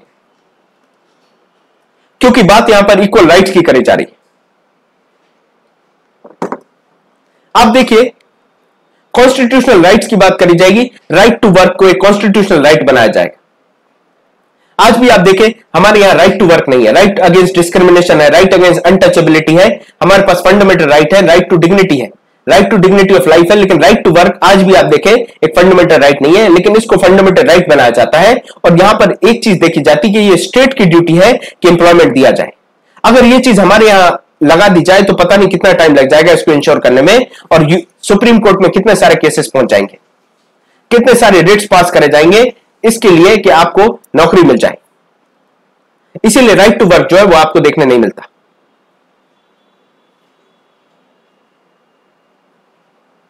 डरने की क्या बात है? साक्षी, इतिहास है हमारा। यह हमें जानने की बहुत ज़्यादा ज़रूरत है, चाहे मेडिकल के स्टूडेंट हो, या फिर आप समझे इंजीनियर हो, सबके लिए history is important for everyone आप भी तो देखिए, आप भी हिस्ट्री पढ़ते हैं एडवर्ड जेनर के बारे में आप पढ़ते हैं, आप पढ़ते हैं पेनेसिलिन के बारे में आइन फ्लेमिंग के बारे में, और सारे लोगों के बारे में आप पढ़ते हैं। इन्होंने किस तरीके से वैक्सीनेशन डेवलप किया और ये सारी चीज़ें की तो वो सारी चीज़ें आप पढ़ते रहते हैं। तो वो भी तो पार्ट ऑफ़ हिस्ट्री हो गया आज। पेस्चराइजेशन के बारे में पढ़ते हैं, और भी जो नई नई चीज़ें बनाई जा रही हैं उसके बारे में भी आप पढ़ते हैं। एजुकेशन को हाई प्रायोरिटी दी जाएगी। इसको आप देखिए, जापान जब डेवलप हो रहा था तो जापान ने भी काफ़ी हाई प्रायोरिटी दी थी एजुकेशन को। यहाँ पर भी आपको वो देखने मिलने वाला है। सारी जो भी आपकी प्रोडक्शन थी, वो जो भी प्राइवेट प्रॉपर्टीज़ होने वाली हैं, उन सबको अबॉलिश कर दिया जाएगा और सारी चीज़ों को स्टेट कंट्रोल करेगा, एक पब्लिक कंट्रोल करने वाला है। इकोनॉमिक प्लानिंग होने वाली पूरी स्टेट की और इसको हमने भी अडॉप्ट किया था जब हम अपने फाइव ईयर प्लान बनाते थे। ये सारी चीज़ें डेवलप होंगी और आप देखते हैं कैसा फास्ट रेट ऑफ़ प्रोग्रेस होने वाला है इकोनॉमी का। जो भी आपकी इनक्वालिटीज थी, उनको भी खत्म कर दिया जाता है। अब फाइनली हम बात करें कम्युनिस्ट इंटरनेशनल जो आपकी थर्ड इंटरनेशनल या फिर इसको आप कम्युन टर्म कहते हैं यह बनाई जाती है। यूएसएसआर की जो आइडियोलॉजी है, इसके हिसाब से, इसकी वजह से इसको सेकेंड वर्ल्ड कहा जाएगा। सेकेंड वर्ल्ड कहा जाएगा यूएसएसआर की आइडियोलॉजी की वजह से, क्योंकि जो यूएसएसआर है, वो सोशलिस्ट ब्लॉक को रेफर करता है। आप देखेंगे जो यूएस यूएसए है ये आपका कैपिटलिस्ट अंडरस्टैंडिंग वाला है। कैपिटलिस्ट आइडियोलॉजी को आगे बढ़ाता है। लेकिन आप यूएसएसआर की बात करें तो वो आपके सोशलिस्ट आइडियोलॉजी की बात करता है, इसीलिए इसको सेकेंड वर्ल्ड कहा जाएगा। यहाँ पर आइडियाज़ रिवाइव करे जाएँगे। कौन सा आइडिया यहाँ पर एक बहुत अच्छा आइडिया रिवाइव करा जाता है he that does not work neither shall eat जो काम नहीं कर रहा है, उसको खाना नहीं चाहिए। इस तरीके के आइडियाज़ दिए जाते हैं। ये कहा जाता है कि आप सबको काम करना पड़ेगा। डिग्निटी ऑफ़ लेबर की बात करी जाती है। चाहे आप झाड़ू लगा रहे हो या फिर आप आईएएस अफसर हो, दोनों में कोई फ़र्क नहीं है। दोनों अपना काम कर रहे हैं तो दोनों में कोई फ़र्क नहीं होना चाहिए। इस तरीके की बातें भी आपको देखने मिलेंगी। डिग्निटी ऑफ़ लेबर की बात देखने मिलती है। सोशलिस्ट जो है, वो पूरी दुनिया में अपने कैंपेन्स डेवलप करते हैं, अपने तरीके से अंडरस्टैंडिंग डेवलप करते हैं ऑर्गेनाइजेशंस बनाते हैं। और ये बैकग्राउंड में आप देख रहे हैं इंडिया में भी जो आपकी कम्युनिस्ट पार्टी ऑफ़ इंडिया बनती है, ये भी बनती है। बताइए, किसने बनाई और कब बनाई? कम्युनिस्ट पार्टी ऑफ़ इंडिया बन रही है, कब बन रही है? Communist Party of India establish होती है, कब एस्टैब्लिश होती है? और ये इसी का रिपरकर्शन है आपका। कौन है कम्युनिस्ट पार्टी का लीडर और कब बन रही है कम्युनिस्ट पार्टी ये बताइए आप।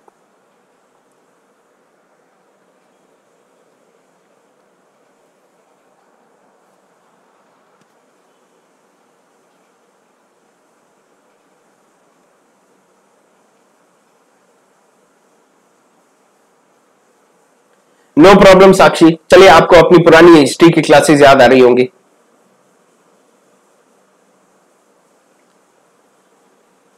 नहीं नहीं 1976 नहीं 1921 M N Roy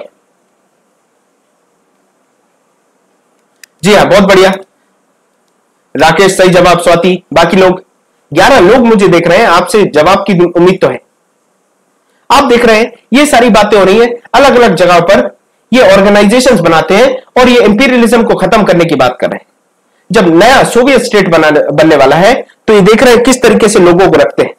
national independence में मदद करते हैं, जो भी आपकी कॉलोनीज है, उनको आज़ाद करने के लिए मदद करते हैं।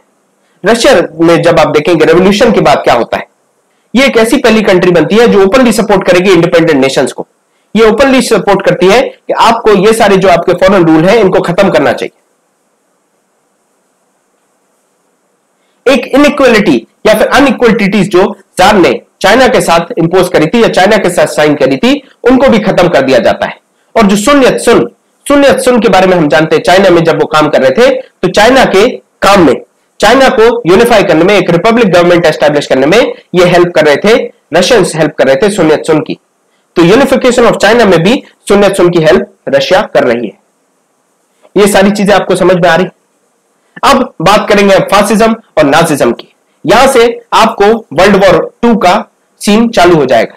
यहाँ पर हम इटली के बारे में पढ़ेंगे, हम पढ़ेंगे जर्मनी के बारे में और फिर हम पढ़ेंगे आपकी स्पेनिश वॉर के बारे में और स्पेनिश वॉर से सीधी चालू हो जाती है आपकी वर्ल्ड वॉर टू अब फासिज्म के बारे में समझे तो फासिज्म जो है, वो आपके फैस्को वर्ड से आता है। फैस्को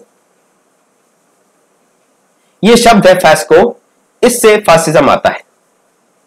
फैस्को जो वर्ड है, वो एक इटालियन वर्ड है जिसका मतलब होता है ग्रुप आप देखेंगे फैसिज्म जो है, इसकी कुछ बेसिक कैरेक्टरिस्टिक्स हैं जो मैं आपको बताना चाहता हूँ। पहले इसमें अल्ट्रा नेशनलिज्म बताया जाएगा कि हमारा देश सबसे बड़ा, हमारा देश सबसे ताकतवर, ये तरीके की चीज़ है। दूसरी चीज़ जो आपकी इंडस्ट्रीज़ है, उन सबको कंट्रोल में ले लिया जाएगा स्टेट के। तीसरी तरफ़ आप देखेंगे कि ऑपोजिशन को पूरी तरीके से वाइप आउट कर दिया जाएगा, खत्म कर दिया जाएगा। एक पार्टी का रूल होगा और जो वो पार्टी कहेगी, वो सही है। नहीं तो कुछ नहीं। इस तरीके की चीज़ें आपको देखने मिलेंगी, ये फासिज्म है। फासिज्म को और गहराई से हम समझेंगे। यहाँ पर मैंने कुछ कैरेक्टरिस्टिक्स बताए हैं और इसका ओरिजिन बताया, ये इटली से ओरिजिनेट करता है। तो फैस्को मतलब होता है ग्रुप ये चीज़ आप समझिए। जी हाँ एक अगस्त 1920 जिसका माइलेज लिया गया था नॉन कॉपरेशन मूवमेंट के दौरान। यहाँ पर आप देखिए फासिज्म डेवलप होने वाला है, ये इटालियन ओरिजिन है। यहाँ पर आपकी मूवमेंट स्टार्ट होने वाली इटली में, और ये मूवमेंट कौन स्टार्ट करता है? बनीटो मुसोलिनी स्टार्ट करने वाला है। ये अपनी आर्म्ड गैंग्स गुंडे जो होते हैं, वो इकट्ठे करता है, और सोशलिस्ट और कम्युनिस्ट जो आइडियोलॉजी है, इसके खिलाफ चालू करने वाला है। आप देखिए वर्ल्ड के दो धड़े बन गए। एक तरफ़ आप देखेंगे ईस्ट में, जहाँ रशिया है, वहाँ पर सोशलिज्म डेवलप हो रहा है। और वेस्ट में आप देखते हैं वेस्ट में जो दूसरा धड़ा बन गया, वो आपके फासिज्म डेवलप कर रहा है। फासिज्म में अल्ट्रा नेशनलिज्म की बात करी जा रही है, और भी बहुत सारी चीज़ें आपको देखने मिलेंगी। यहाँ पर देखिए, कुछ लोग वार्निंग्स दे रहे हैं। वार्निंग्स में कहा जाता है जो फासिज्म है, वो आपके ट्रॉमा और वायलेंस को डेवलप कर सकता है। साथ में जो आपके फ्री फ्रीडम ऑफ़ बिलिफिकेशन है मतलब आप जो निंदा करते हैं, जो ऑपोजिशन बिलिफाई करता है, निंदा करता है, उस चीज़ को खत्म कर सकते हैं। साथ में मिलिटरिज्म को बढ़ा सकता है मिलिट्री के जो पावर्स हैं स्टेट के ऊपर, उसको इंक्रीज कर सकता है। इसीलिए यह माना जाता है कि आपको इसको खत्म करना है। और आपको इसको दूर रखना है। ये सारी चीज़ें बात करी जाती है। इसको कहा जाता है कि इसको आप पचाएँ, इसको दूर करें, इसको फ्लश कर दें। और बच्चों से और जानवरों से तो खासकर दूर रखना है आपको। ये सारी चीज़ें हमें फासिज्म में देखने मिल रही है, फासिज्म में हमें समझने मिल रही है। अब हम फासिज्म के बारे में काफ़ी गहराई से अगले चैप्टर में, अगले लेक्चर में हम डिस्कस करेंगे। हम फासिज्म पढ़ेंगे। फासिज्म जर्मनी और हमारी वर्ल्ड वॉर टू यहाँ पर आ जाएगी। कल हम वर्ल्ड वॉर टू कंप्लीट कर देंगे और उसके बाद हमारा जो परसों का लेक्चर होगा, उसमें वर्ल्ड वॉर टू के बाद की टाइम और हम थोड़ा सा कोल्ड वॉर के बारे में पढ़ेंगे और यहाँ पर आपका जो वर्ल्ड हिस्ट्री का सेशन है, वो कंप्लीट हो जाएगा। मतलब दो दिन और, आज तारीख आपकी पाँच हो गई है, सात तारीख तक आपका वर्ल्ड हिस्ट्री कंप्लीट हो जाएगा।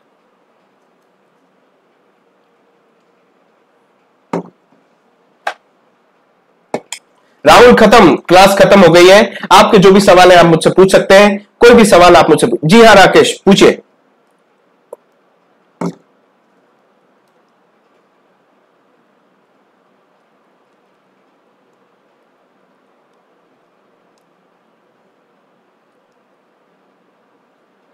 जी हाँ अगर आपने लेक्चर को लाइक नहीं किया तो मैं उम्मीद करूँगा आप लेक्चर को लाइक कर दें।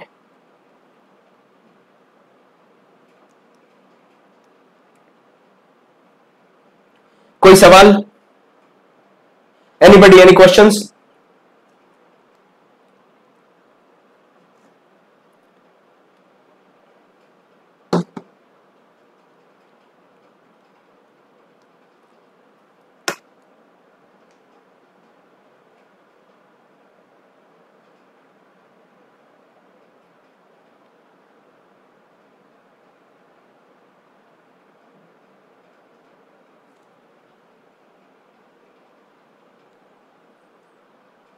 thank you Swati thank you Kawaljeet बताइए, कोई सवाल?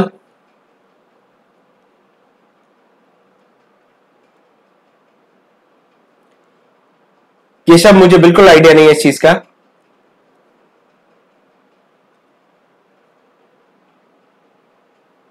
मुझे बिल्कुल आइडिया नहीं है, केशव। सब्जेक्ट से संबंधित कोई सवाल, वर्ल्ड हिस्ट्री से संबंधित कोई सवाल है तो आप उनसे पूछ लीजिए।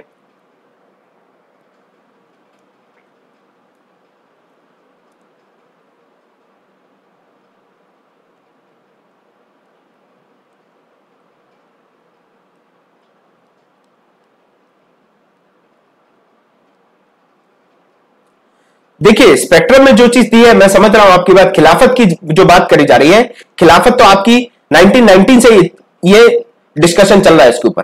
पर्टिकुलरली एक डेट की बात नहीं कर सकते हम रेजोल्यूशन पास किए जाते हैं, लेकिन जो मूवमेंट्स कब चालू हो रही है, ये अलग चीज़ होती है। एक अगस्त आप जानते हैं, इस चीज़ का माइलेज लिया गया था।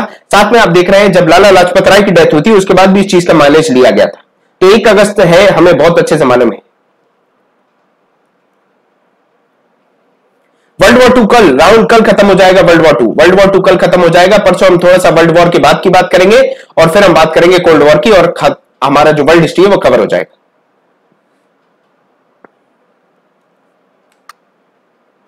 मैंने आपको बताया था पर, कल की क्लास में नवंबर 19 1919 में ऑस्ट्रिया हंगरी जो है वो सरेंडर करता है।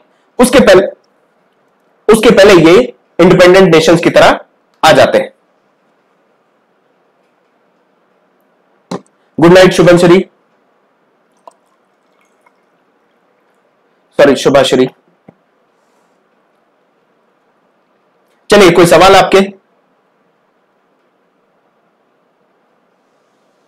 नो प्रॉब्लम देखिए हिस्ट्री के साथ प्रॉब्लम यह है कि हिस्ट्री में जो डेट्स है ना, उनका रेलेवेंस बड़ा अजीब सा है। अंग्रेज़ लिखते हैं तो उनके लिए अलग डेट्स इंपॉर्टेंट है। हम लिखेंगे अलग डेट्स इंपॉर्टेंट होती है।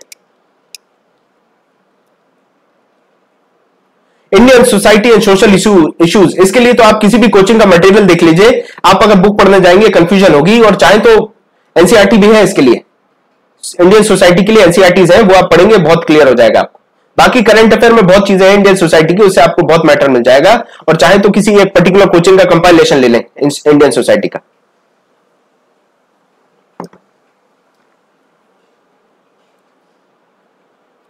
चलिए, और कोई सवाल? किसी को कोई सवाल है? आपका कोई सवाल है तो आप मुझसे पूछ सकते हैं।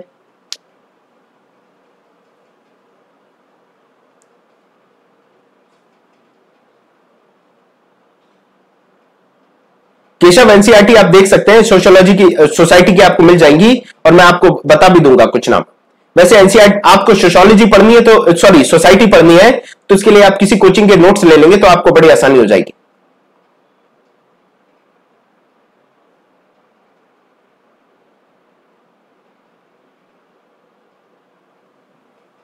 चलिए तो आज का सेशन हम यहीं पर रैपअप करते हैं।